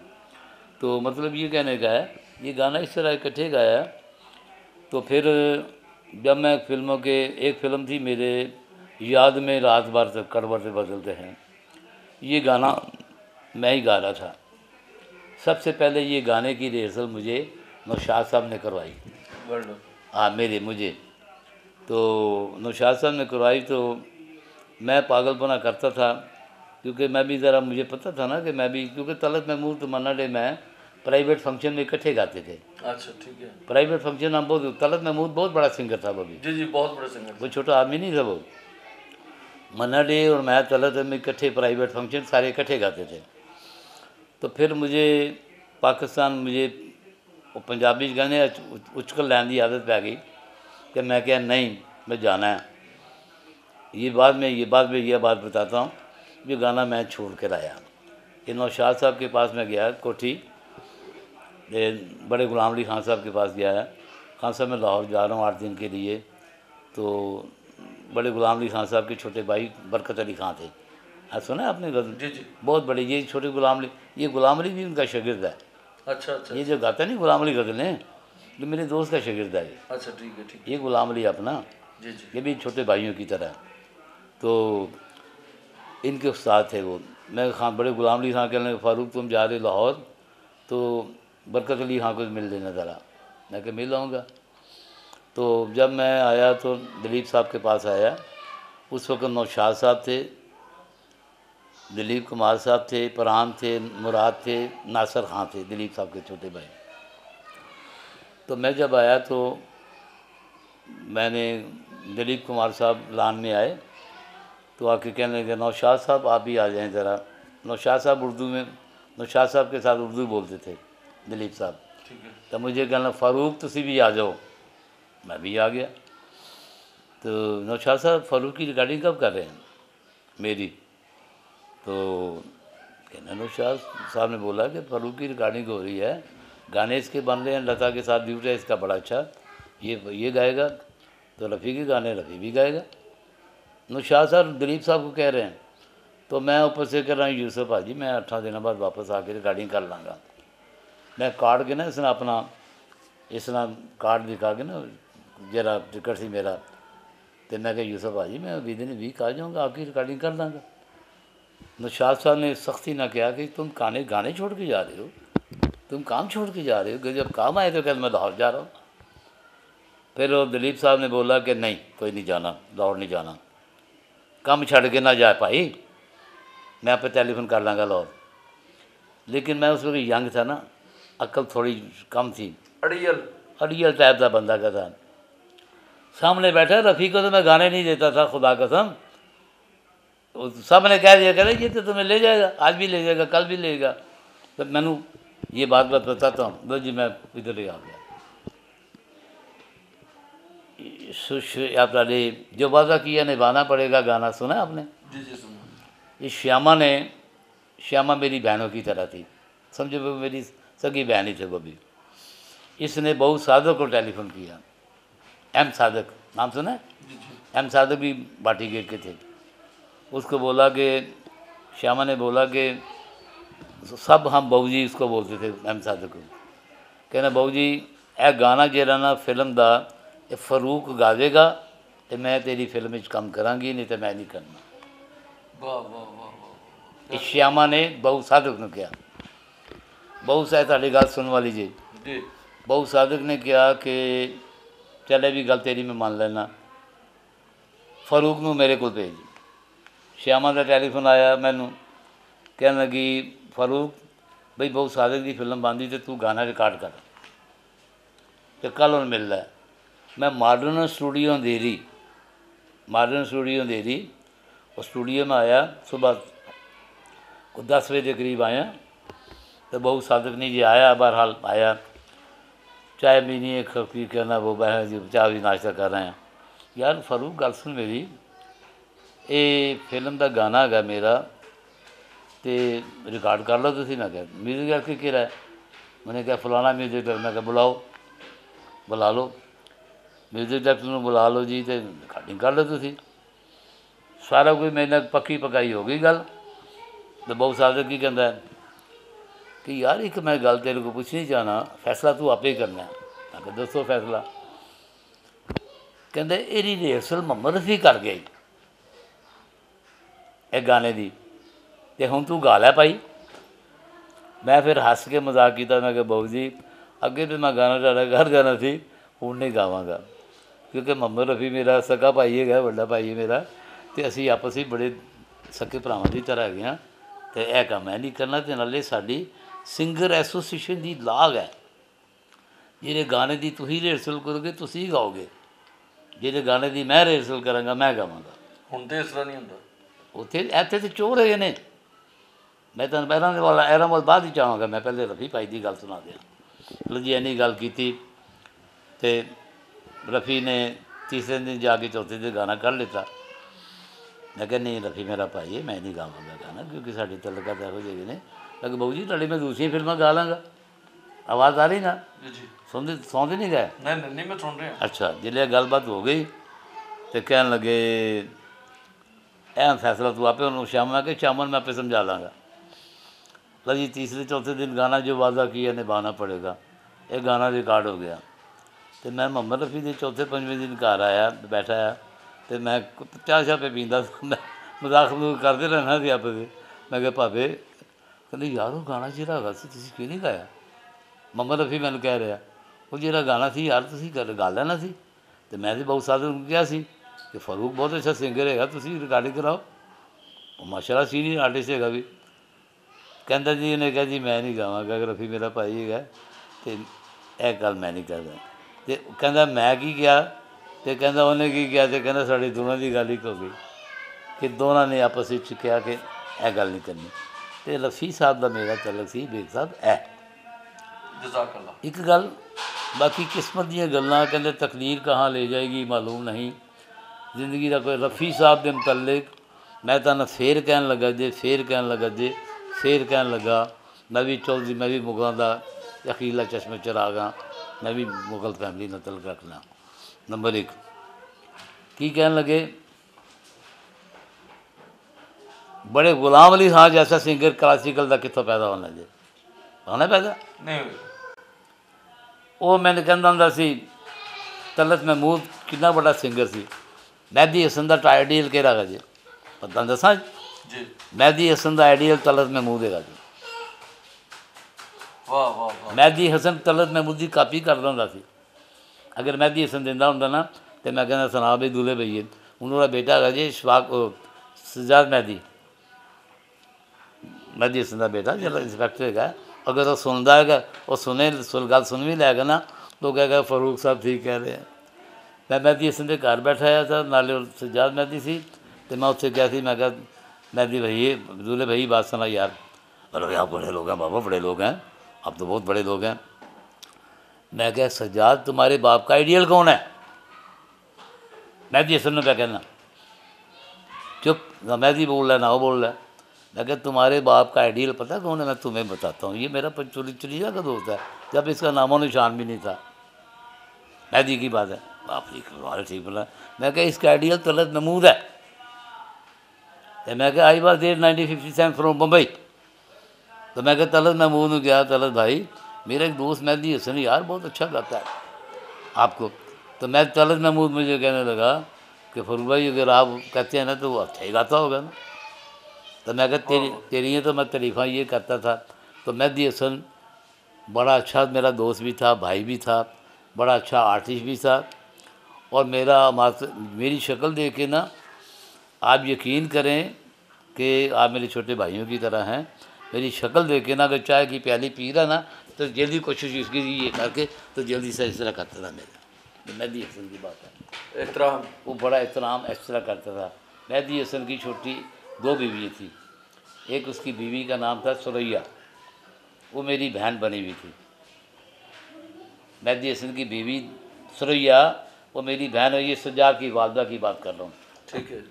बहन बनी हुई थी जिसको कोई कभी काम होना ना फरूक भाईजान फरूक भाईजान। मैं कहा भाभी क्या लफड़ाबाजी करते रहती है? भैया किधर है? भैया किधर है? मैं भी इसको इस तरह बोलता था। तो मुझे पाकिस्तान के अंदर बड़ी फ़िल्में मिली हैं। मैं आपको मैं मरण छेद के ऊपर बैठ के कहने लगा हूँ। अब मेरे अंदर गलतियाँ कितनी हैं वो भी आपको बताने लगा हूँ। शबाब करानवी जैसा आदमी मुझे कह रहा है मेरा एक दोस्त था शबाब करानवी को वो देता था क्या रा मटीरियल उसका नाम था रफ़ीक सेठ। उर्दू स्पीकिंग थी वो। बाहर से रा मटीरियल आता था तो वो सप्लाई करता था। पाँच सौ रुपये का डब्बा होता था जी को नेगेटिव का। ना पाँच सौ रुपये का डब्बा मिलता था। ठीक है? ठीक हो गया ना? जी जी। वो मेरा एक दोस्त मुझे वहाँ ले गया शबाब करानी के पास। कहाँ पे? ये लक्ष्मी चौक। इसका दफ्तर था? शबाब करानी का। अरे शबाब, तुम्हें पता ही है कौन है? तुम्हें पता ही है कौन है? मेरे मतलब मुझे तो नहीं पता, लेकिन आपके दोस्त हैं, इतना पता है। अबे, ये इंडिया का बड़ा सिंगर है, बहुत बड़ा। इसको पकड़, ऊपर मनवर मनवर जरीफ ही आ गया। मनवर जरीफ का बड़ा भाई था ना, सदीक। जरीफ का नाम था मोहम्मद सदीक का नाम था वो ही वॉज़ माई फ्रेंड वो मेरा दोस्त था। तो जरीफ तो मेरे से बहुत छोटा था ना। अच्छा अच्छा। जरीफ आगे पता पीछे से आ गया। असलम भाईजान फरूक आ गए भाईजान फरूक आ गए शबाब साहब, इनको ना छोड़ें। ये बहुत बड़े सिंगर हैं, ये भागने वाले हैं इंडिया। ये बम्बई जाने वापस चले जाएँगे। ये नहीं गाते गुते। ये देखो, ये कितने बड़े सिंगर हैं। मैं कि शबाब साहब, कहना जी, मैं मैं ज़रा दुनिया देखा, महबूब खां को मिला हुआ काबदार साहब को मिला हुआ। या चोपड़े को दुनिया के जो बड़े बड़े नाम नामवर डायरेक्टर थे उनको आना जाना था मेरा। दिलीप के बड़ा कोई हीरो कौन हो सकता था? दिलीप कुमार। इनसे कौन बड़ा हीरो था? इनसे बात भी कोई नहीं कर सकता था। मैं तो इस तरह आपसे बातें नहीं कर रहा लो जी इस तरह। तो शबाब करानी मुझे कहने लगे फ़ारूक साहब आप इतने बड़े सिंगर हैं हमारी फ़िल्में गाने करो। ये मोहम्मद अली इस तरह खड़ा था, था जाके। ये मोहम्मद अली हीरो नहीं आपका? ये इधर का इस तरह खड़ा था।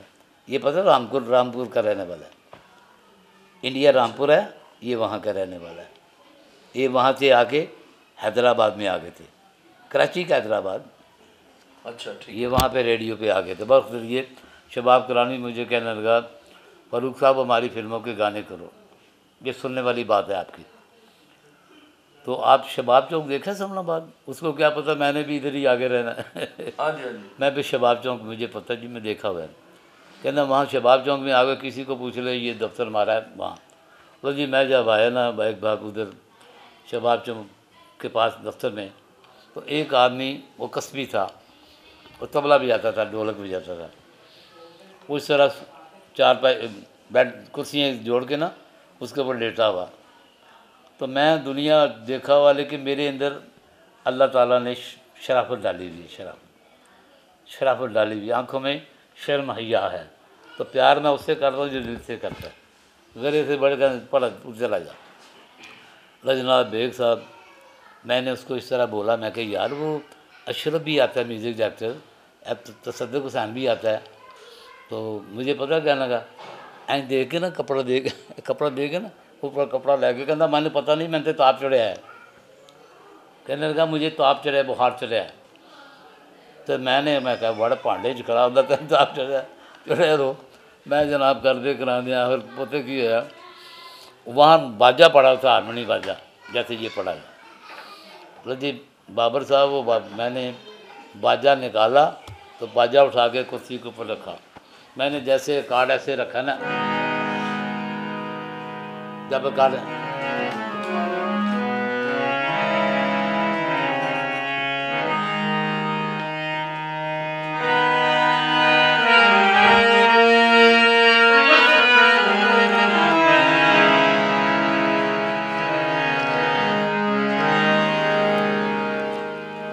मैंने ये लाइन कही थोड़ी सी। जब दिल से दिल टकराता है जब दिल से दिल टकराता है।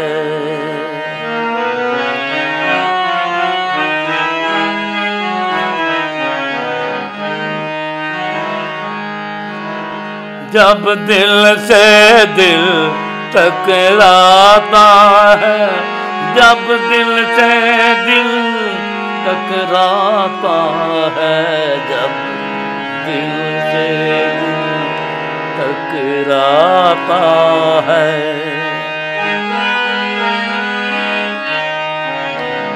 आ, आ, आ,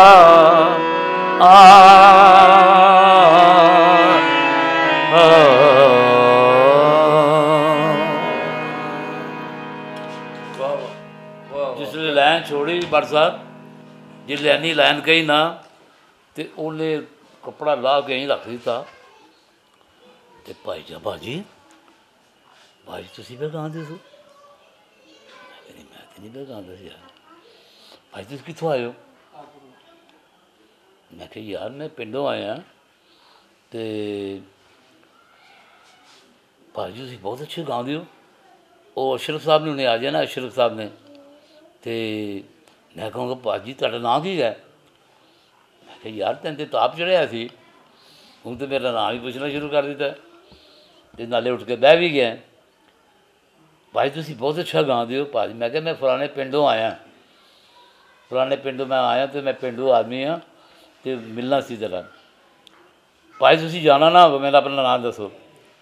ਮੈਂ ਅਸ਼ਰਫ ਸਾਹਿਬ ਨੂੰ ਕਹਾਂਗਾ, ਭਾਜੀ ਕੋਲੋਂ ਗਾਣੇ ਰਿਕਾਰਡ ਕਰਾਓ। तो भाजी एहो सुरते चढ़े सन आसमान ते भाई भाजी कहने, मैं तेने की कहना लो जी, उस दिन ते मैं चला आया। तो दूजे दिन आया बेग साहब, वो बैठा है, एम तस्लीम फाजली तस्लीम फाजली बैठा है, ते नाले बैठा है, M Ashraf. M Ashraf music में बनावे, छलिया मेरा नाम, हिंदू, मुस्लिम, सिख, ईसाई सबको मेरा सलाम। अच्छा ਉਹ ਐ, ਉਹ ਕਲਿਆਣ ਜੀ ਦਾ ਮਿਲ ਗਿਆ ਸੀ ਤੇ ਕਲਿਆਣ ਜੀ ਮੇਰਾ ਦੋਸਤ ਸੀ ਬੰਬਈ ਤੋਂ। ਉਹਨਾਂ ਨੂੰ ਕੀ ਪਤਾ ਮੈਂ ਕੌਣ ਹੈਗਾ।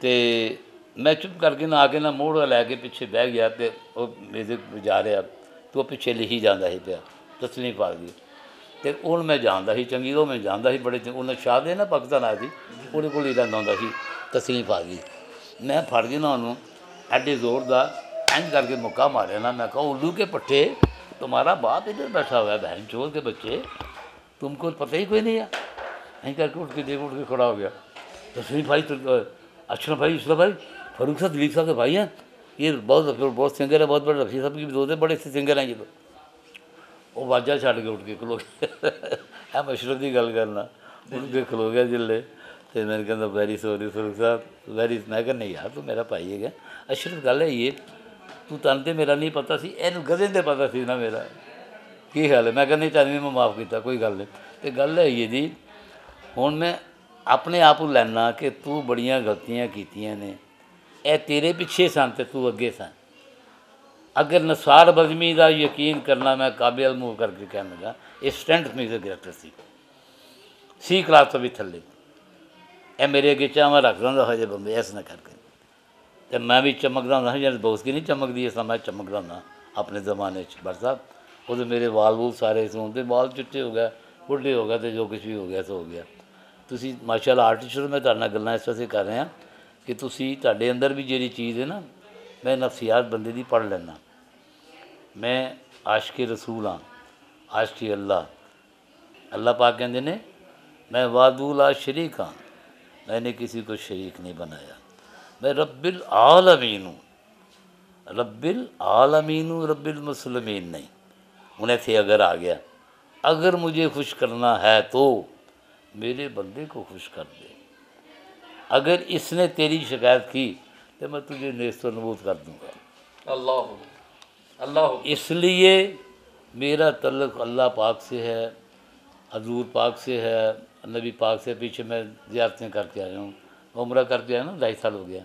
मैं हजूर के घर के साथ ही बैठा होता था मदीना शरीफ रियाजुल जना में मैं उधर ही बैठता था सलाम पेता था इधर करता था हजूर के घर के ऊपर मेरी आंखें इधर वो कहते थे तुम्हें इसीलिए अपने पास बैठा हुआ ਹੁਣ ਜਿਹੜੀ ਤੁਹਾਡੀ ਗੱਲ ਦਾ ਜਵਾਬ ਦੇਣ ਲੱਗਾ ਇਸ ਵਾਸਤੇ ਤੁਸੀਂ ਜਿਹੜੀ ਉਸ ਲਈ ਗੱਲ ਕੀਤੀ ਸੀ ਉਹ ਮੈਂ ਤੁਹਾਡੀ ਉਹਦੀ ਗੱਲ ਦੀ ਵਧੀ ਵਸਾਹਤ ਕਰਨ ਲੱਗਾ ਤੁਹਾਡੀ ਗੱਲ ਦੀ। जी ਮੈਂ ਕਿ ਪਰਵਰਦੀਗਾਰ ਮਨ ਤੂੰ ਆਨੀ ਉਰੂਜ ਤੇ ਪਹੁੰਚਾਇਆ ਟਾਪ ਤੇ ਪਹੁੰਚਾਇਆ ਮੈਨੂੰ ਟਾਪ ਤੇ ਗਵਾਇਆ ਮੈਨੂੰ। ਲੇਕਿਨ ਤੂੰ ਆਪੇ ਕਿਹਾ ਤੂੰ ਮੇਰੀ ਬਿਹਤਰੀ ਵਾਸਤੇ ਕਿਹਾ ਕਿ ਤੇਰੇ ਵਾਸਤੇ ਹੁਣ ਮੈਂ ਅੱਗੇ ਨਹੀਂ ਲਿਆਣਾ ਇਹਨੂੰ। ਤੈਨੂੰ ਮੈਂ ਕਿਸੇ ਮਕਾਮ ਤੇ ਲਿਆ ਕੇ ਸੁੱਟਣਾ। ਉਹ ਮਕਾਮ ਕਿਹੜਾ ਸੀ? ਉਹ ਬਿਹਤਰ ਜਾਣਦਾ ਮੈਂ ਸਾਰੀ ਜ਼ਿੰਦਗੀ ਸਿਗਰਟ ਤੱਕ ਨਹੀਂ ਪੀਤਾ ਰਫੀ ਵੀ ਨਹੀਂ ਪੀਂਦਾ ਸੀ ਨਾ ਸਿਗਰਟ ਨਾ ਪਾਨ ਨਾ ਲੈਣੀ ਨਾ ਦੇਣੀ ਨਾ ਦੇਣੀ। ਨਾ ਮੈਂ ਵੀ ਕਦੀ ਨਹੀਂ ਜ਼ਿੰਦਗੀ। ਉਹ ਮੇਰਾ ਹਾਲ ਮੈਂ ਬਹੁਤ ਬੁੱਢਾ ਜ਼ਿਆਦਾ ਹੋ ਗਿਆ। ਨਹੀਂ ਠੀਕ ਜੀ? ਮਾਸ਼ਾਅੱਲਾ, ਠੀਕ ਹੋ। ਕਿ ਜੇ ਬਹੁਤ ਵੱਡਾ ਹੋ ਗਿਆ। ਰਫੀ ਦੀ ਗੱਲ ਜਿਹੜੀ ਹੈ, ਰਫੀ 1957 ਚ ਵਿਚਾਰਾ ਫੌਤ ਹੋ ਗਿਆ। 31 ਜੁਲਾਈ 1980 ਚ ਮੁਹੰਮਦ ਰਫੀ ਫੌਤ ਹੋ ਗਿਆ। ਮੈਂ ਤੁਹਾਨੂੰ ਦੱਸਣਾ ਮੇਰੀ ਵਾਈਫ ਕਹਿਣ ਲੱਗੀ ਮੈਨੂੰ, ਮੈਂ ਸਵੇਰੇ ਦਿੱਲੀ ਗਾਣੇ ਸੁਣਦਾ ਸਿਰ ਪੁਰਾਣੇ ਗਾਣੇ, ਮੈਂ ਪੁਰਾਣੇ ਗਾਣੇ ਸੁਣਦਾ ਹੁੰਦਾ ਸਾਂ। ਆਪਣੇ ਉਦੋਂ ਮੇਰੀ ਨਿਸਬਤ ਰੋਡ ਰਿਹਾਇਸ਼ੀ ਨਿਸਬਤ ਰੋਡ ਗਵਾਲ ਮੇਰੀ ਵਾਈਫ ਕਹਿਣ ਲੱਗੀ ਕਿ ਮੈਂ ਕਿਹਾ, ਹੱਸ ਕੇ ਕਿਹਾ, ਮੈਂ ਕਿਹਾ, ਮੁਹੰਮਦ ਰਫੀ ਦੇ ਗਾਣੇ ਜਿਹੜੀ ਨੇ, ਮੁਹੰਮਦ ਰਫੀ ਸਾਡੇ ਦੋਸਤ ਸਨ ਅਸੀਂ ਬੜੇ, ਅਸੀਂ ਮੁਹੰਮਦ ਰਫੀ ਬੜੇ ਗਹਿਰੇ ਦੋਸਤ ਹੈਗੇ ਹਾਂ ਪਾਕਿਸਤਾਨ ਲਈ ਮੁਹੰਮਦ ਰਫੀ ਦਾ ਦੋਸਤ ਮੈਂ ਹੀ ਹਾਂ ਕੋਈ ਨਹੀਂ ਗਾ ਜਿਹੜਾ ਕਹਿੰਦਾ ਸੋ ਮੈਂ ਝੂਠ ਬੋਲਦਾ ਜ਼ਰਾਤਰ ਕੱਲ ਹੈ ਇਹ, ਉਹ ਗਾਣੇ ਜਿਹੜੇ ਪੰਜ ਛੇ ਸੁਨੇ ਮੁਹੰਮਦ ਰਫੀ ਦੇ ਪੁਰਾਣੇ ਗਾਣੇ। ਤੇ ਮੈਂ ਆਪਣੀ ਬੀਵੀ ਨੂੰ ਕਿਹਾ, ਮੈਂ ਕਿਹਾ ਗੱਲ ਪਤਾ ਹੀ ਸੁਣ। ਅੱਜ ਜਿਹੜਾ ਨਾਂ ਨਹੀਂ ਨਾ ਕੋ ਦੱਸਦੇ ਪਏ। ਅੱਲਾ ਰਹਿਮ ਕਰੇ ਕਿ ਫੌਜ ਨਾ ਕਿਤੇ ਹੋ ਗਿਆ ਹੋਵੇ। ਫਿਰ ਅਖੀਰ ਦੇ ਗਾਣੇ 'ਚ ਆ ਕੇ ਉਹਨੇ ਕਿਹਾ ਕਿ ਜੀ ਮੁਹੰਮਦ ਰਫੀ ਸਾਹਿਬ ਇੰਤਕਾਲ ਕਰ ਗਏ हैं। ਬੜਾ ਮੈਨੂੰ ਅਫਸੋਸ ਹੋਇਆ ਫਿਰ ਸਵੇਰੇ 8:30 ਵਜੇ ਸੁਣ ਲਓ ਗੱਲ 8:30 ਵਜੇ ਇਹ ਮੁਹੰਮਦ ਰਫੀ ਦਾ ਸਕਾ ਭਰਾਈ ਇਹ ਪਾਸ਼ਫੀ मोहम्मद शफी साहब ਪਾਸ਼ਫੀ ਸਾਹਿਬ ਇਹ 8:30 ਵਜੇ ਮੇਰੇ ਘਰ ਇਹ ਪੱਗ ਬੰਨ੍ਹਦੇ ਹੁੰਦੇ ਸਨ ਪੱਗ ਬੰਨ੍ਹਦੇ ਹੁੰਦੇ ਸਨ ਪੱਗ ਪੱਗ ਬੰਨ੍ਹਦੇ ਹੁੰਦੇ ਸਨ ਧੋਤੀ ਬੰਨੀ ਤੇ ਪੱਗ ਬੰਨ ਕੇ ਮੇਰੇ ਘਰ मेरी बेटी आशा फौत हो गई है, बड़ी खूबसूरती मेरी भी चौदह साल की उम्र फौत हुई है मेरी बेटी। अब मुझे बेटी कहने लगी आके मुझे कि अभी कि बाबा जान ऊपर नीचे से आवाज़ें दे रहे हैं, बाबा जान। मैंने ऊपर से देखा अजी शफी साहब, मैं क्या अच्छा पाशा भी तुम उत्ते ही आ जाओ। साढ़े उत्ते जाते, असं सैकेंड फ्लोर से रहते थे पाशा भी लगा, मैं क्या मोहम्मद रफी साहब के भाई, बड़े पाशा भी मैं क्या पाशा भी तुम उत्ते ही आ जाओ। ਕਹਿੰਦਾ, ਯਾਰ ਫਰੂਕ ਸਾਹਿਬ, ਨਹੀਂ, ਮੇਰੇ ਕੋਲ ਚੜਿਆ ਨਹੀਂ ਜਾਂਦਾ। ਤੁਸੀਂ ਥੱਲੇ ਆਓ ਜਲਦੀ ਨਾਲ।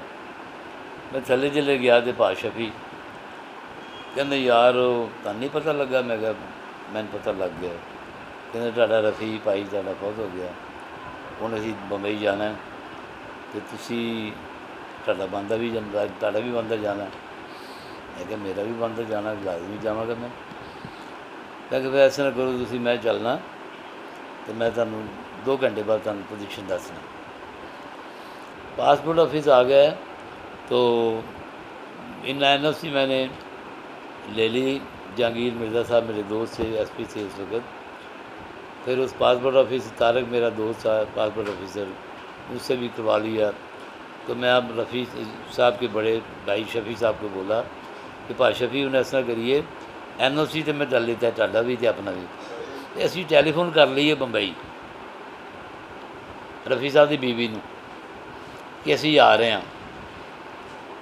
ਉਹਨਾਂ ਦੀ ਬੀਵੀ ਸਾਹਿਬਾ ਕੋ ਕੀ ਬੋਲਦੇ ਨੇ?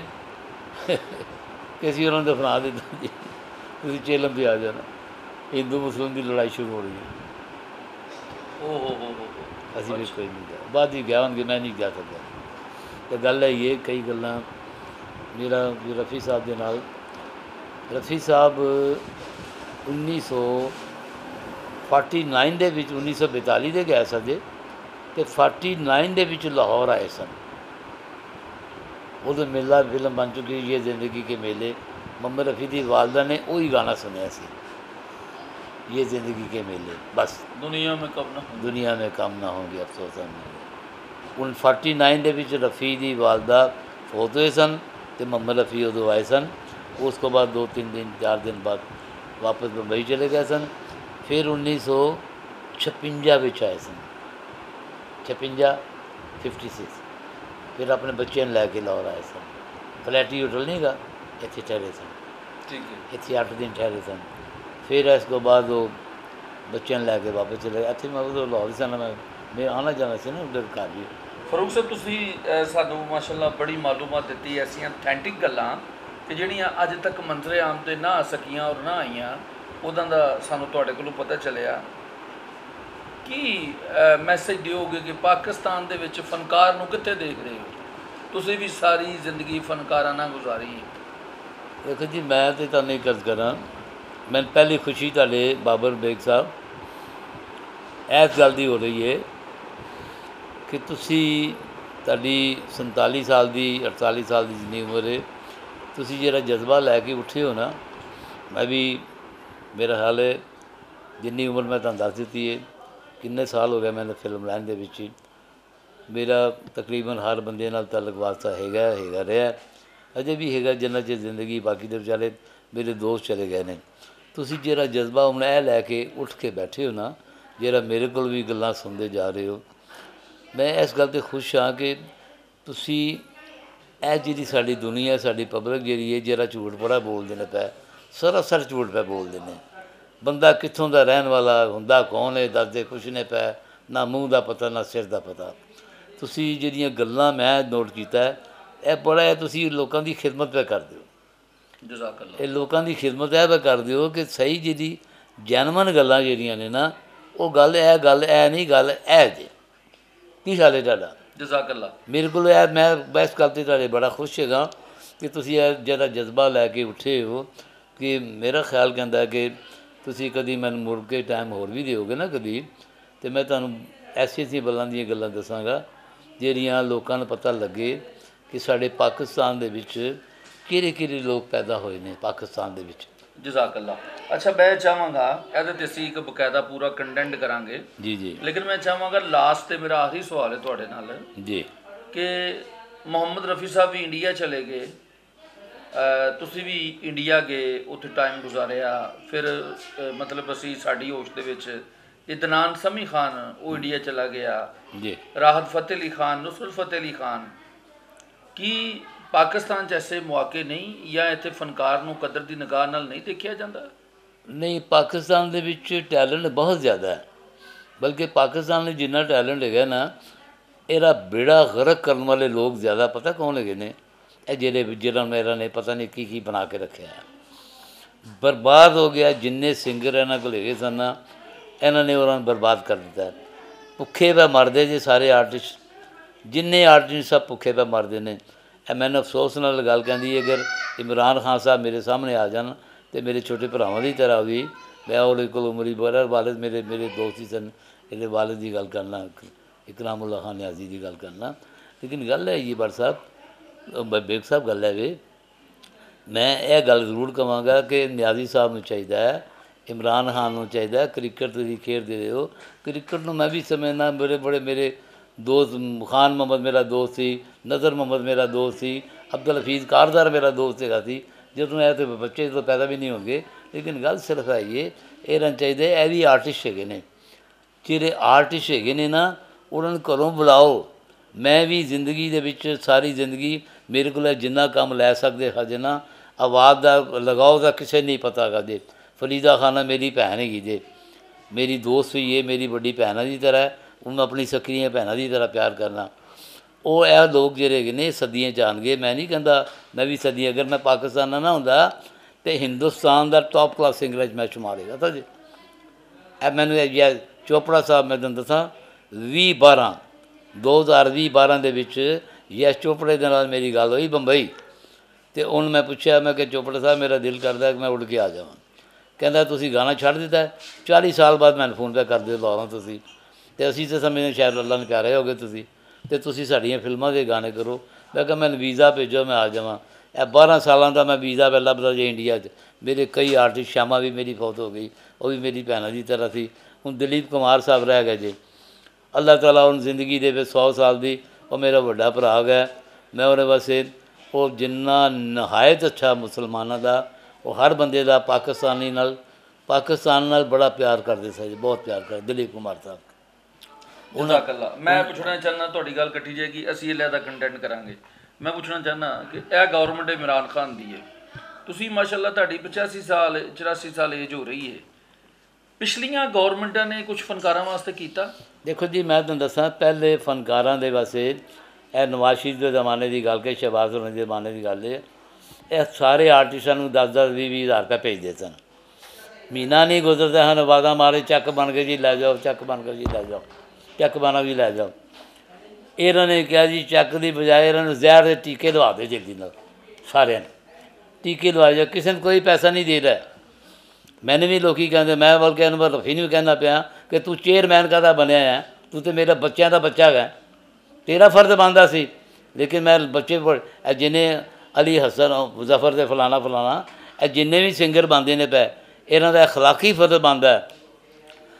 ਜਿਹੜੇ ਬੰਦੇ ਇਸ ਕਾਬਲ ਹੈਗੇ ਨੇ ਜਿਨ੍ਹਾਂ ਦੇ ਘਰ ਖਾਣ ਵਾਸਤੇ ਗਰੀਬ ਆਦਮੀਆਂ ਦੇ ਕੋਲ ਰੋਟੀ ਨਹੀਂ ਗਈ ਕਿਰਾਏ ਵਾਸਤੇ ਮਕਾਨ ਵਾਸਤੇ ਪੈਸੇ ਨਹੀਂ ਗਏ ਬੜੇ ਪਰੇਸ਼ਾਨੀ ਜਾ ਰਹੇ ਨੇ ਮੰਗ ਮੰਗ ਕੇ ਪੈਸੇ ਵੀ ਲੋਕਾਂ ਕੋਲ ਮੰਗਦੇ ਨੇ ਪਏ ਇਹ ਜਦੋਂ ਦੀ ਆਏ ਨੇ 2.5 ਸਾਲ ਤੋਂ, ਇਹਨਾਂ ਨੇ ਕੱਖ ਨਹੀਂ ਕੀਤਾ, ਕੱਖ ਨਹੀਂ ਕੀਤਾ, ਕੱਖ ਨਹੀਂ ਕੀਤਾ। ਬਲਕਿ ਮੈਂ ਤੇ ਇੱਕੋ ਗੱਲ ਕਹਾਂਗਾ, ਇਮਰਾਨ ਸਾਹਿਬ ਨੂੰ ਤੇ ਨਹੀਂ ਇਹ ਗੱਲਾਂ ਦਾ ਪਤਾ ਹੈਗਾ।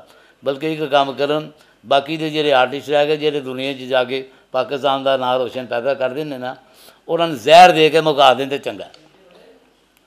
ਜ਼ਹਿਰ ਦੇ ਕੇ ਨਾ ਸਾਰੇ ਆਰਟਿਸਟਾਂ ਨੂੰ ਮੁਕਾ ਹੀ ਦੇਣ ਕਿ ਚਲੋ ਯਾਰ ਦਫਾ ਕਰੋ, ਤੁਹਾਨੂੰ ਜ਼ਰੂਰਤ ਨਹੀਂ ਕੀ ਬੇੜਾ ਅਗਰ ਕਰ ਦਿੱਤਾ ਨੇ ਇੰਨੀ ਇੰਨੀ ਅੱਛੀਆਂ ਆਵਾਜ਼ਾਂ ਸੇ ਮੈਂ ਆਪ ਰੋਣਾ ਜੇ ਹੁਣ ਆ ਕੇ ਰੋਂਦਾ ਜੇ ਜਿਸ ਲਈ ਮੈਂ ਸਾਰੀ ਜ਼ਿੰਦਗੀ ਗੁਜ਼ਾਰ ਦਿੱਤੀ ਤੇ ਮੈਂ ਕਹਿੰਦਾ ਤੂੰ ਆਪਣੀ ਸ਼ਰਾਫਤ ਹੀ ਲੈ ਕੇ ਬੈਠਾ ਰਿਹਾ ਆਪਣੀ ਨਾ ਪਸੰਦੀ ਲੈ ਕੇ ਬੈਠਾ ਰਿਹਾ ਮੇਰੇ ਨਾਲ ਇਹ ਕੋਈ ਬੰਦਾ ਟਾਕ ਕਰਨਾ ਚਾਹੇ ਕੋਈ ਵਜ਼ੀਰ ਗੱਲ ਕਰਨੀ ਚਾਹੇ ਮੇਰੇ ਨਾਲ ਜਿਹੜਾ ਮਰਜ਼ੀ ਕਰ ਲਵੇ ਮੈਂ ਅੱਜ ਵੀ ਤਿਆਰ ਹੈਗਾ ਮੇਰੇ ਨਾਲ ਗੱਲ ਕਰੋ ਟੀਵੀ ਤੇ ਆ ਕੇ ਗੱਲ ਕਰੋ ਮੈਂ ਕਿਤੇ ਕੋਈ ਡਰ ਕੇ ਨਹੀਂ ਗੱਲ ਕਰਦਾ ਨਾ ਕਿਸੇ ਪਾਰਟੀ ਨਾਲ ਮੇਰਾ ਕੋਈ ਤਲਕ ਨਹੀਂਗਾ ਮੇਰੀ ਪਾਰਟੀ ਦਾ ਤਲਕ ਹੈਗਾ ਜੇ ਦੇਖ ਸਾਹਿਬ ਤੇ ਸਿਰਫ ਖੁਦਾ ਦੇ ਨਾਲ ਤਲਕ ਹੈਗਾ ਜੇ ਤੇ ਖੁਦਾ ਦੇ ਰਸੂਲ ਨਾਲ ਤਲਕ ਹੈਗਾ ਜੇ ਅਗਰ ਮੈਂ ਇਹਨਾਂ ਨੂੰ ਫੇਰ ਕਹਾਂਗਾ ਅਗਰ ਤੁਸੀਂ ਅੱਲਾਹ ਪਾਕ ਨੂੰ ਖੁਸ਼ ਕਰਨਾ ਹੈ ਨਬੀ ਪਾਕ ਨੂੰ ਖੁਸ਼ ਕਰਨਾ ਜੇ ਤੇ ਜ- ਮੈਂ ਲਾ ਇਲਾਹਾ ਇਲੱਲ੍ਲਾਹ ਮੁਹੰਮਦ ਰਸੂਲullah ਪੜ੍ਹਲਾ ਮੈਂ ਵੀ ਇਸ ਉਮਰ 'ਚ ਆ ਗਿਆ ਪਤਾ ਨਹੀਂ ਮੈਂ ਵੀ ਕਿਹੜੇ ਦੁਆਗੇ ਚਲਾ ਜਾਣਾ ਮੈਨੂੰ ਤੁਸੀਂ ਦੁਨੀਆ ਦੇ ਵਿਵੇਕ ਕੁਮਾਰ ਤੋਂ ਲੈ ਕੇ ਛੋਟੇ ਤੋਂ ਵੱਡੇ ਤੋਂ ਲੈ ਕੇ ਜਿਹੜਾ ਸ਼ਿਜਰਾ ਕਹੋਗੇ ਮੈਂ ਤੁਹਾਡੇ ਸਾਹਮਣੇ ਪੇਸ਼ ਕਰ ਦਿਆਂਗਾ ਲੇਕਿਨ ਮੈਂ ਦੋ ਚੀਜ਼ਾਂ ਨਹੀਂ ਛੱਡੀਆਂ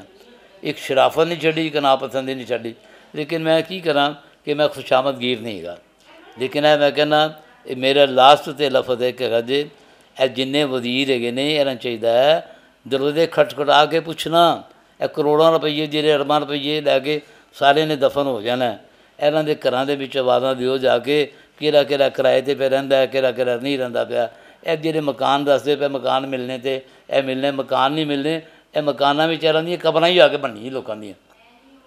ਤੇ ਹੁਣ ਸਿਰਫ ਇੱਕੋ ਹੀ ਚੀਜ਼ ਹੈਗੀ ਜੀ ਭਾਜੀ ਮੈਂ ਤੁਹਾਡੇ ਜਜ਼ਬਾਤ ਦੀ ਕਦਰ ਕਰਨਾ ਤੁਸੀਂ ਬਹੁਤ ਅੱਛਾ ਕਰ ਰਹੇ ਹੋ, ਤੁਸੀਂ ਜ਼ਮੀਨ ਵਿੱਚੋਂ ਜਿਹੜੇ ਮਰੇ ਪਏ ਆਰਟਿਸਟ ਹੈਗੇ ਨੇ, ਜਿਹੜੇ ਮਰੇ ਹੋਏ, ਤੁਸੀਂ ਉਹਦਾ ਵੀ ਸ਼ਿਜਰਾ ਕੱਢ ਕੇ ਪੈ ਲੈ ਕੇ ਕਿ ਯਾਰ ਇਹ ਵਿਚਾਰਾ ਕਿਸ ਤਕਲੀਫ ਹੀ ਜਾ ਰਿਹਾ, ਦੇਖੋ ਤੁਹਾਨੂੰ ਦੱਸਾਂ, ਇਹ ਮੈਂ ਆਪਣੀ ਗੱਲ ਕਰ ਰਿਹਾ, ਮੈਂ ਆਪਣੇ ਮਕਾਨ ਵੇਚ ਕੇ ਤੇ ਜਨਾਬ ਕਿਰਾਏ ਤੇ ਬੈਠਾ ਜੀ।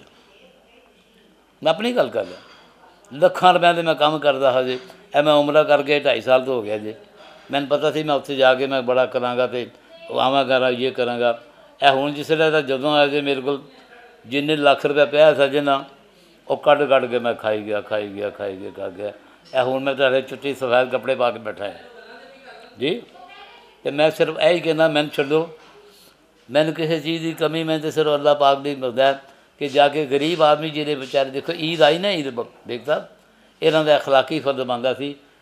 ਈਦ ਆਈ ਸੀ ਤੇ ਈਦ ਆਈ ਸੀ ਤੇ ਉੱਥੇ ਜਾ ਕੇ ਇਹਨਾਂ ਵਾਸਤੇ ਕੁਝ ਲੋਕਾਂ ਦੀ ਖਿਦਮਤ ਕਰਦੇ ਉਹਨਾਂ ਨੂੰ ਪੈਸੇ ਵੀ ਦਿੰਦੇ, ਉਹਨਾਂ ਦੇ ਬੱਚਿਆਂ ਦੇ ਜਾ ਕੇ ਸੁਲਦੇ ਕੁਝ ਕਰਦੇ। ਤੇ ਮੈਂ ਤੇ ਇਹਨਾਂ ਨੂੰ ਕਹਾਂਗਾ ਅਜੇ ਵੀ, ਅੱਜ ਵੀ ਕਹਿਣਾ ਜੇ, ਅਜੇ ਈਦ ਨੂੰ ਦੋ ਤਿੰਨ ਦਿਨ ਹੈਗੇ ਨੇ। ਅਗਰ ਮੇਰੀ ਗੱਲ ਸੁਣ ਲੈਣ, ਤੇ ਮੈਂ ਕਹਿੰਦਾ ਮੈਨੂੰ ਟੀਵੀ 'ਤੇ ਆ ਕੇ ਕਹੋ, ਮੈਂ ਉੱਥੇ ਵੀ ਆ ਕੇ ਤੈਨੂੰ ਕਹਾਂਗਾ ਇਕਰਾਮ, ਤੂੰ ਬਹੁਤ ਅੱਛਾ ਆਦਮੀ ਹੈ ਮੇਰਾ ਛੋਟਾ ਭਰਾ ਹੀ ਹੈ ਮੈਂ ਕ੍ਰਿਕਟ ਮੈਚ ਜੇ ਨਾ, ਤੁਹਾਨੂੰ ਵੀ ਜਾਣਨਾ, ਚੰਗੀ ਤਰ੍ਹਾਂ ਜਾਣਨਾ। ਲੇਕਿਨ ਇਹ ਜਿਹੜੇ ਸੱਜੇ ਖੱਬੇ ਜਿਹੜੇ ਬੈਠੇ ਜੇ ਨੇ ਲੌਂਚ ਚੜੇ, ਇਹਨਾਂ ਕੋ ਖੁਦਾ ਦੇ ਵਾਸਤੇ ਇਹ ਲੋਕਾਂ ਦੇ ਜਿਹੜੇ ਪੈਸੇ ਦੇਣੇ ਜੇ ਉਹਨਾਂ ਦੇ ਘਰਾਂ ਦੇ ਵਿੱਚ ਜਾ ਕੇ ਹੱਥ ਜੋੜ ਕੇ ਦੇ ਕੇ ਆਓ। ਅਗਰ ਤੁਸੀਂ ਇਹ ਕੰਮ ਨਹੀਂ ਨਾ ਕਰੋਗੇ ਤੇ ਖੁਦਾ ਦੀ ਕਸਮੇ ਅੱਲਾਹ ਪਾਕ ਨੇ ਤੁਹਾਨੂੰ ਛੱਡਣਾ ਕੋਈ ਨਹੀਂ ਗਾ ਜੇ। ਤੇ ਨਾ ਹਜ਼ੂਰ ਪਾਕ ਨੇ ਤੁਹਾਨੂੰ ਛੱਡਣਾ ਜੇ। ਮਿਹਰਬਾਨੀ ਕਰੋ ਲੋਕਾਂ ਦੇ ਜਾ ਕੇ ਪੈਸੇ। ਹੱਥ ਜੋੜ ਕੇ ਦੇਖੋ ਕਿਹੜਾ ਕਿਰਾਏ ਤੇ ਰਹਿ ਰਿਹਾ। ਕਿਰਾਇਆ ਦੇ ਸਕਦਾ ਨਹੀਂ ਦੇ ਸਕਦਾ। ਇਹ ਮੰਗ ਮੰਗ ਕੇ ਕਿਰਾਇਆ ਪਿਆ ਦਿੰਦਾ ਜੋ ਵੀ ਕਰਦਾ ਚਲੋ ਮੈਂ ਤੇ ਸਫੈਦ ਪੋਸ਼ ਹਾਂ। ਮੈਂ ਤੇ ਵਕਤ ਨੂੰ ਚਲਾਈ ਜਾ ਰਿਹਾ, ਚਲਾਈ ਜਾ ਰਿਹਾ। ਲੇਕਿਨ ਅਫਸੋਸ ਹੈ ਬਟ ਸਾਹਿਬ ਬੇਗ ਸਾਹਿਬ ਤੁਸੀਂ ਬਹੁਤ ਅੱਛਾ ਕੰਮ ਪਿਆ ਕਰਦੇ ਹੋ। ਕਦੀ ਮੈਨੂੰ ਮੌਕਾ ਦਿਓਗੇ ਨਾ ਤੁਸੀਂ। ਮੈਂ ਟੀਵੀ ਦੇ ਬੜੇ ਪ੍ਰੋਗਰਾਮ ਕੀਤੇ, ਰੇਡੀਓ ਤੇ 40 ਸਾਲ ਗਾ ਗਿਆ। ਮੈਂ ਸਾਰੀ ਦੁਨੀਆ ਜਾਣਦੀ ਹੈ ਮੈਂ ਬੜੇ ਬੜੇ ਪ੍ਰੋਗਰਾਮ, ਆਰਮੀ ਦੇ ਬੜੇ ਪ੍ਰੋਗਰਾਮ ਕਰ ਗਿਆ ਜੇ। ਲੋ ਤੁਹਾਨੂੰ ਦੱਸ ਦਿਆਂ ਪਰਵੇਜ਼ ਮੁਸ਼ਰਫ ਨੂੰ ਮੈਂ ਲਿਆ ਸੀ, ਪਰਵੇਜ਼ ਮੁਸ਼ਰਫ ਨੂੰ। ਪਰਵੇਜ਼ ਮੁਸ਼ਰਫ ਨੂੰ ਲਿਆ ਸੀ ਕਿ ਮੈਂ ਇੰਡੀਆ ਦਾ ਟਾਪ ਕਲਾਸ ਸਿੰਗਰਾਂ 'ਚ ਸ਼ੁਮਾਰ ਹੋਣਾ ਤੇ ਮੈਂ ਇੱਥੇ ਆ ਕੇ ਗੁਮਨਾਮ ਜ਼ਿੰਦਗੀ ਗੁਜ਼ਾਰ ਰਿਹਾ। ਪਰਵੇਜ਼ ਮੁਸ਼ਰਫ ਸਾਹਿਬ ਨੂੰ ਲਿਖਿਆ ਸੀ ਮੈਂ। ਤੇ ਪਰਵੇਜ਼ ਮੁਸ਼ਰਫ ਸਾਹਿਬ ਨੇ ਅੱਗੋਂ ਕਿਹਾ ਸੀ ਕਿ ਜਾਓ ਫਰੂਕ ਬੰਬੇ ਵਾਲੇ ਨੂੰ ਬੁਲਾਓ। ਫਰੂਕ ਬੰਬੇ ਵਾਲੇ ਨੂੰ ਬੁਲਾਓ ਮੈਨੂੰ ਬੁਲਾਇਆ ਗਿਆ ਤੇ ਮੈਂ ਆਜ ਤੱਕ ਉੱਥੇ ਇਸਲਾਮਾਬਾਦ ਜਾ ਕੇ ਗਿਆ ਸੀ। 5 ਸਟਾਰ ਦੋ ਕਮਰੇ ਮੇਰੇ ਕੋਲ ਸਨ। ਇਹ ਨਈਮ ਤਾਹਿਰ ਨਹੀਂ ਇਹ ਯਾਸਮੀਨ ਤਾਹਿਰ ਦਾ ਖਾਮਦ। ਇਹ ਵੀ ਉੱਥੇ ਸੀ ਉਦੋਂ। ਤੇ ਮੈਨੂੰ ਕੀ ਦਿੱਤਾ ਸਨੇ ਜੋ ਦਿੱਤਾ ਤੈਨੂੰ ਪਤਾ ਸਭ ਨੂੰ ਪਤਾ ਹੀ ਹੈਗਾ। ਲੇਕਿਨ ਗੱਲ ਹੈ ਇਹ ਅਗਰ ਉਹ ਕਹਿੰਦੇ ਜਨਰਲ ਕਹਿੰਦਾ ਸੀ ਕਿ ਅਗਰ ਇਹ ਕਹਿੰਦੇ ਜ਼ਿੰਦਾ ਰਹਿ ਜਾਂਦੇ ਤੇ ਮੈਂ ਫਰੂਕ ਨੂੰ ਆਪਣੇ ਕੋਲ ਬਿਠਾਣਾ ਸੀ ਇਹ ਉਹ ਸਿੰਗਰ ਹੈਗਾ ਜੀ। ਇਹ ਪਾਕਿਸਤਾਨ ਦੇ ਵਿੱਚ ਲਾਹੌਰ ਵਿੱਚ ਐਸੇ ਐਸੇ ਸਿੰਗਰ ਪੈ ਜੇ ਜਿਹੜੇ ਬਰਬਾਦ ਹੋ ਗਏ ਨੇ। ਇਹ ਸਮੀਉਲਾ ਦੀ ਗੱਲ ਕਰਦੇ ਪਏ ਤੁਸੀਂ। ਨਜ਼ਾਕਤ ਸਲਾਮਤ ਮੇਰੇ ਦੋਸਤ ਹਨ ਬੜੇ ਅੱਛੇ ਕਲਾਸੀਕਲ ਦੇ। ਉਸਤਾਦ ਬੜੇ ਗੁਲਾਮ ਅਲੀ ਖਾਨ ਸਾਹਿਬ ਵੀ ਚਲੇ ਗਏ ਤਨ ਉੱਤੇ ਗੱਲ ਹੈ ਇਹ ਤੁਸੀਂ ਹੁਣ ਗੱਲ ਕੀਤੀ ਨਾ ਕਿ ਸਾਰੇ ਹੀ ਉੱਥੇ ਚਲੇ ਗਏ ਨੇ ਜਾ ਕੇ ਉੱਥੇ ਜਾ ਕੇ ਨਾਮ ਪੈਦਾ ਕਰ ਲੈਂਦੇ ਨੇ। ਕੀ ਹਾਲ ਹੈ ਤੁਹਾਡਾ? ਤੇ ਇੱਥੇ ਆ ਕੇ ਕੁਝ ਵੀ ਨਹੀਂ ਪਿਆ ਕਰਦੇ। ਜਜ਼ਾਕੱਲਾ ਇਹਨਾਂ ਕੋਲ ਐਸੇ ਐਸੇ ਨਹੀਂ ਕਰਦੇ ਭਾਜੀ। ਤੇ ਇਹਨਾਂ ਦਾ ਇਹਨਾਂ ਨੇ ਬੇੜਾ ਗਰ ਕਰਨਾ ਸੀ, ਕਰ ਦਿੱਤਾ। ਹੁਣ ਮੈਂ ਬਲਕਿ ਇਮਰਾਨ ਸਾਹਿਬ ਨੂੰ ਇਹੀ ਕਹਾਂਗਾ ਕਿ ਤੁਹਾਡੀ ਬੜੀ ਮਿਹਰਬਾਨੀ। ਤੁਸੀਂ ਜਿਸ ਤਰ੍ਹਾਂ ਵੀ ਹੁੰਦਾ ਜੇ, ਇਹ ਜਿਹੜੇ ਵਜ਼ੀਰ ਬਾਜ਼ਾਰ ਜਿਹੜੇ ਬੈਠੇ ਨੇ, ਇਹਨਾਂ ਕੋਲ ਖੁਦਾ ਦੇ ਵਾਸਤੇ ਜਾ ਕੇ ਇਹ ਲੁੱਟ ਕਰੋੜਾਂ ਰੁਪਏ ਜਿਹੜੇ ਨੇ, ਗਰੀਬ ਆਦਮੀ ਮ- ਮਸਕੀਨ ਜਿਹੜੇ ਹੈਗੇ ਨੇ, ਸਫੈਦ ਪੋ, ਆਰਟਿਸਟ, ਉਹਨਾਂ ਨੂੰ ਲੱਭ ਕੇ ਉਹਨਾਂ ਨੂੰ ਪੈਸੇ ਦੇ ਕੇ ਆਓ। ਤੇ ਨਾਲੇ ਇਹ ਵੀ ਨਾਲ ਕਹਿ ਦਿਆਂਗਾ, ਜਿਹੜੇ ਬਾਬਰ ਬੇਗ ਸਾਹਿਬ ਨੇ ਨਾ ਜਿਹੜੇ, ਇਹ ਜਿਹਦੀ ਖਿਦਮਤ ਪੈ ਕਰਦੇ ਨੇ, ਇਹ ਵੀ ਆਰਟਿਸਟ ਹੈਗੇ ਨੇ, ਇਹਨਾਂ ਦੀ ਖਿਦਮਤ ਇਹਨਾਂ ਦੀ ਵੀ ਕਰੋ। ਕਿ ਤਾਂ ਕਿ ਹਰ ਬੰਦੇ ਦੀ ਜਾ ਕੇ ਇਹ ਵੀ ਖਿਦਮਤ ਕਰਨ ਲੋਕਾਂ ਦੀ। ਬਸ ਜੀ ਮੈਂ ਪਾਕਿਸਤਾਨ ਜ਼ਿੰਦਾਬਾਦ ਦਾ ਨਾਰਾ ਮਾਰਨਾ ਇਮਰਾਨ ਖਾਨ ਜ਼ਿੰਦਾਬਾਦ ਐਸਾ ਦੇ ਕਿ ਇਮਰਾਨ ਖਾਨ ਬਹੁਤ ਅੱਛਾ ਆਦਮੀ ਹੈ। ਇਮਰਾਨ ਖਾਨ ਸਾਹਿਬ ਹੈ ਤੇ ਨਹੀਂ ਪਤਾ ਕਿ ਪਿੱਛੇ ਕੀ ਕੀ ਲੁਚ ਪੈ ਚੱਲਦੇ ਨੇ। ਜਜ਼ਾਕੱਲਾ। ਜਿਸ ਲੁਚ ਕੀ ਪੈ ਚੱਲਦੇ ਨੇ। ਇਹ ਮਿਹਰਬਾਨੀ ਕਰਕੇ ਇਮਰਾਨ ਸਾਹਿਬ ਤੁਸੀਂ ਮਿਹਰਬਾਨੀ ਕੇ ਆਰਟਿਸਨ ਲੁੱਕ ਕੇ ਜਿਹੜੇ ਵਿਚਾਰੇ ਕਿਰਾਇਆ ਨਹੀਂ ਦੇ ਸਕਦੇ ਉਹਨਾਂ ਨੂੰ ਜਾ ਕੇ ਪੜੋ ਕਿ ਜਾ ਕੇ ਉਹਨਾਂ ਦੀ ਖਿਦਮਤ ਕਰੋ। ਅੱਲਾਹ ਨੂੰ ਖੁਸ਼ ਕਰਨਾ ਜੇ ਬਾਕੀ ਖੁਦਾ ਹਾਫਿਜ਼। ਜੀ ਨਾਦਰੀਨ ਸਾਡੇ ਨਾਲ ਸਨ ਮੁਹੰਮਦ ਫਾਰੂਕ ਸਾਹਿਬ ਇਹਨਾਂ ਨੂੰ ਫਾਰੂਕ ਬੰਬੇ ਵਾਲੇ ਦੇ ਨਾਮ ਤੋਂ ਵੀ ਜਾਣਿਆ ਜਾਂਦਾ ਹੈ। ਇੰਡੀਆ ਜੈਸੇ ਵੱਡੇ ਮੁਲਕ 'ਚ ਬਿਹਤਰੀਨ ਸਿੰਗਰਾਂ 'ਚ ਨਾਮ ਸ਼ੁਮਾਰ ਹੋਣ ਵਾਲਾ ਮੁਹੰਮਦ ਫਾਰੂਕ ਪਾਕਿਸਤਾਨ 'ਚ ਕੈਸੀ ਜ਼ਿੰਦਗੀ ਗੁਜ਼ਾਰ ਰਹੇ ਨੇ ਇਹ ਤੁਸੀਂ ਦੇਖਿਆ। ਸੋ ਇਹ ਵੇ ਕਿ ਪਾਕਿਸਤਾਨ ਦੇ ਵਿੱਚ ਆਰਟਿਸਟਾਂ ਨਾਲ ਅ, ਨਾ ਇਨਸਾਫੀ ਇਹਨੂੰ ਅਸੀਂ ਕੀ ਨਾਮ ਦੇਾਂਗੇ ਮੈਨੂੰ ਨਹੀਂ ਪਤਾ ਇਹਦਾ ਫੈਸਲਾ ਤੁਸੀਂ ਕਰਨਾ ਹੈ। ਪਾਕਿਸਤਾਨ ਬਣਨ ਤੋਂ ਲੈ ਕੇ ਤੇ ਹੁਣ ਤੱਕ ਅੱਜ ਦੀ ਗੱਲ ਨਹੀਂ, ਇਹ ਗੱਲ ਅਸਲਾਂ ਦੀ ਹੈ ਔਰ ਪਾਕਿਸਤਾਨ ਆਰਟਿਸਟਾਂ ਵਾਸਤੇ ਜਿਹੜੇ ਨੁਮਾਇੰਦੇ ਮੁਤਲਕਾ ਅਦਾਰਿਆਂ 'ਚ ਬਿਠਾਏ ਗਏ ਨੇ, ਉਹਨਾਂ ਨੂੰ ਕਦੀ ਵੀ ਦੂਰ ਦਾ ਵੀ ਉਹਨਾਂ ਦਾ ਵਾਸਤਾ ਨਹੀਂ ਰਿਹਾ ਇਸ ਗੱਲ ਨਾਲ ਕਿ ਉਹ ਆਰਟਿਸਟ ਹਨ ਉਹ ਆਰਟ ਨੂੰ ਸਮਝਦੇ ਨੇ, ਉਹ ਫਨ ਨੂੰ ਸਮਝਦੇ ਨੇ, ਮਸੀਕੀ ਨੂੰ ਸਮਝਦੇ ਨੇ, ਕਿਸੇ ਹੋਰ ਚੀਜ਼ ਨੂੰ ਸਮਝਦੇ ਨੇ। ਲੇਕਿਨ ਫਨਕਾਰ ਜਿਹੜੇ ਨੇ, ਉਹ ਆਪਣੇ ਮੁਲਕ ਦੇ ਸਫੀਰ ਹੁੰਦੇ ਨੇ ਆਪਣੇ ਮੁਲਕ ਦੀ ਪਹਿਚਾਣ ਹੁੰਦੇ ਨੇ ਔਰ ਦੁਨੀਆ ਦੇ ਨਗਰ ਨਗਰ 'ਚ ਜਾ ਕੇ ਬਤੌਰ ਪਾਕਿਸਤਾਨੀ ਆਪਣੇ ਮੁਲਕ ਦਾ ਨਾਮ ਰੋਸ਼ਨ ਕਰਦੇ ਨੇ। ਸੋ ਹੈ ਕਿ ਪਾਕਿਸਤਾਨ ਦੇ ਵਿੱਚ ਵੀ ਜਿਨ੍ਹਾਂ ਲੋਕਾਂ ਨੂੰ ਅਵਾਰਡ ਦਿੱਤੇ ਜਾਂਦੇ ਨੇ ਪ੍ਰਾਈਡ ਆਫ ਪਰਫਾਰਮੈਂਸ ਦਿੱਤੇ ਜਾਂਦੇ ਨੇ, ਪਤਾ ਨਹੀਂ ਉਹ ਕਿਹੜੀ ਬੁਨਿਆਦ ਤੇ ਦਿੱਤੇ ਜਾਂਦੇ ਨੇ, ਸਾਨੂੰ ਤੇ ਉਸ ਬੁਨਿਆਦ ਦਾ ਵੀ ਨਹੀਂ ਪਤਾ। ਸੋ ਐਵੇਂ ਕਿ ਮੈਂ ਕੀ ਸੱਚ ਕਹਿ ਰਿਹਾ, ਕੀ ਝੂਠ ਕਹਿ ਰਿਹਾ ਇਹਦੇ ਬਾਰੇ 'ਚ ਤੁਸੀਂ ਆਪਣੇ ਕਮੈਂਟਸ ਕਰਨਾ ਲਾਈਕ ਕਰਨਾ ਸ਼ੇਅਰ ਕਰਨਾ। ਇਹਦੇ ਨਾਲ ਹੀ ਤੁਹਾਡਾ ਹੋਸਟ ਬਾਬਰ ਬੇਗ ਤੁਹਾਡੇ ਕੋਲ ਇਜਾਜ਼ਤ ਚਾਹੇਗਾ ਇਨਸ਼ਾਅੱਲਾ ਫਿਰ ਤੁਹਾਡੀ ਖਿਦਮਤ 'ਚ ਹਾਜ਼ਰ ਹੋਵਾਂਗਾ ਕਿਸੇ ਨਵੀਂ ਵੀਡੀਓ ਨਾਲ। ਪਾਕਿਸਤਾਨ, ਜ਼ਿੰਦਾਬਾਦ।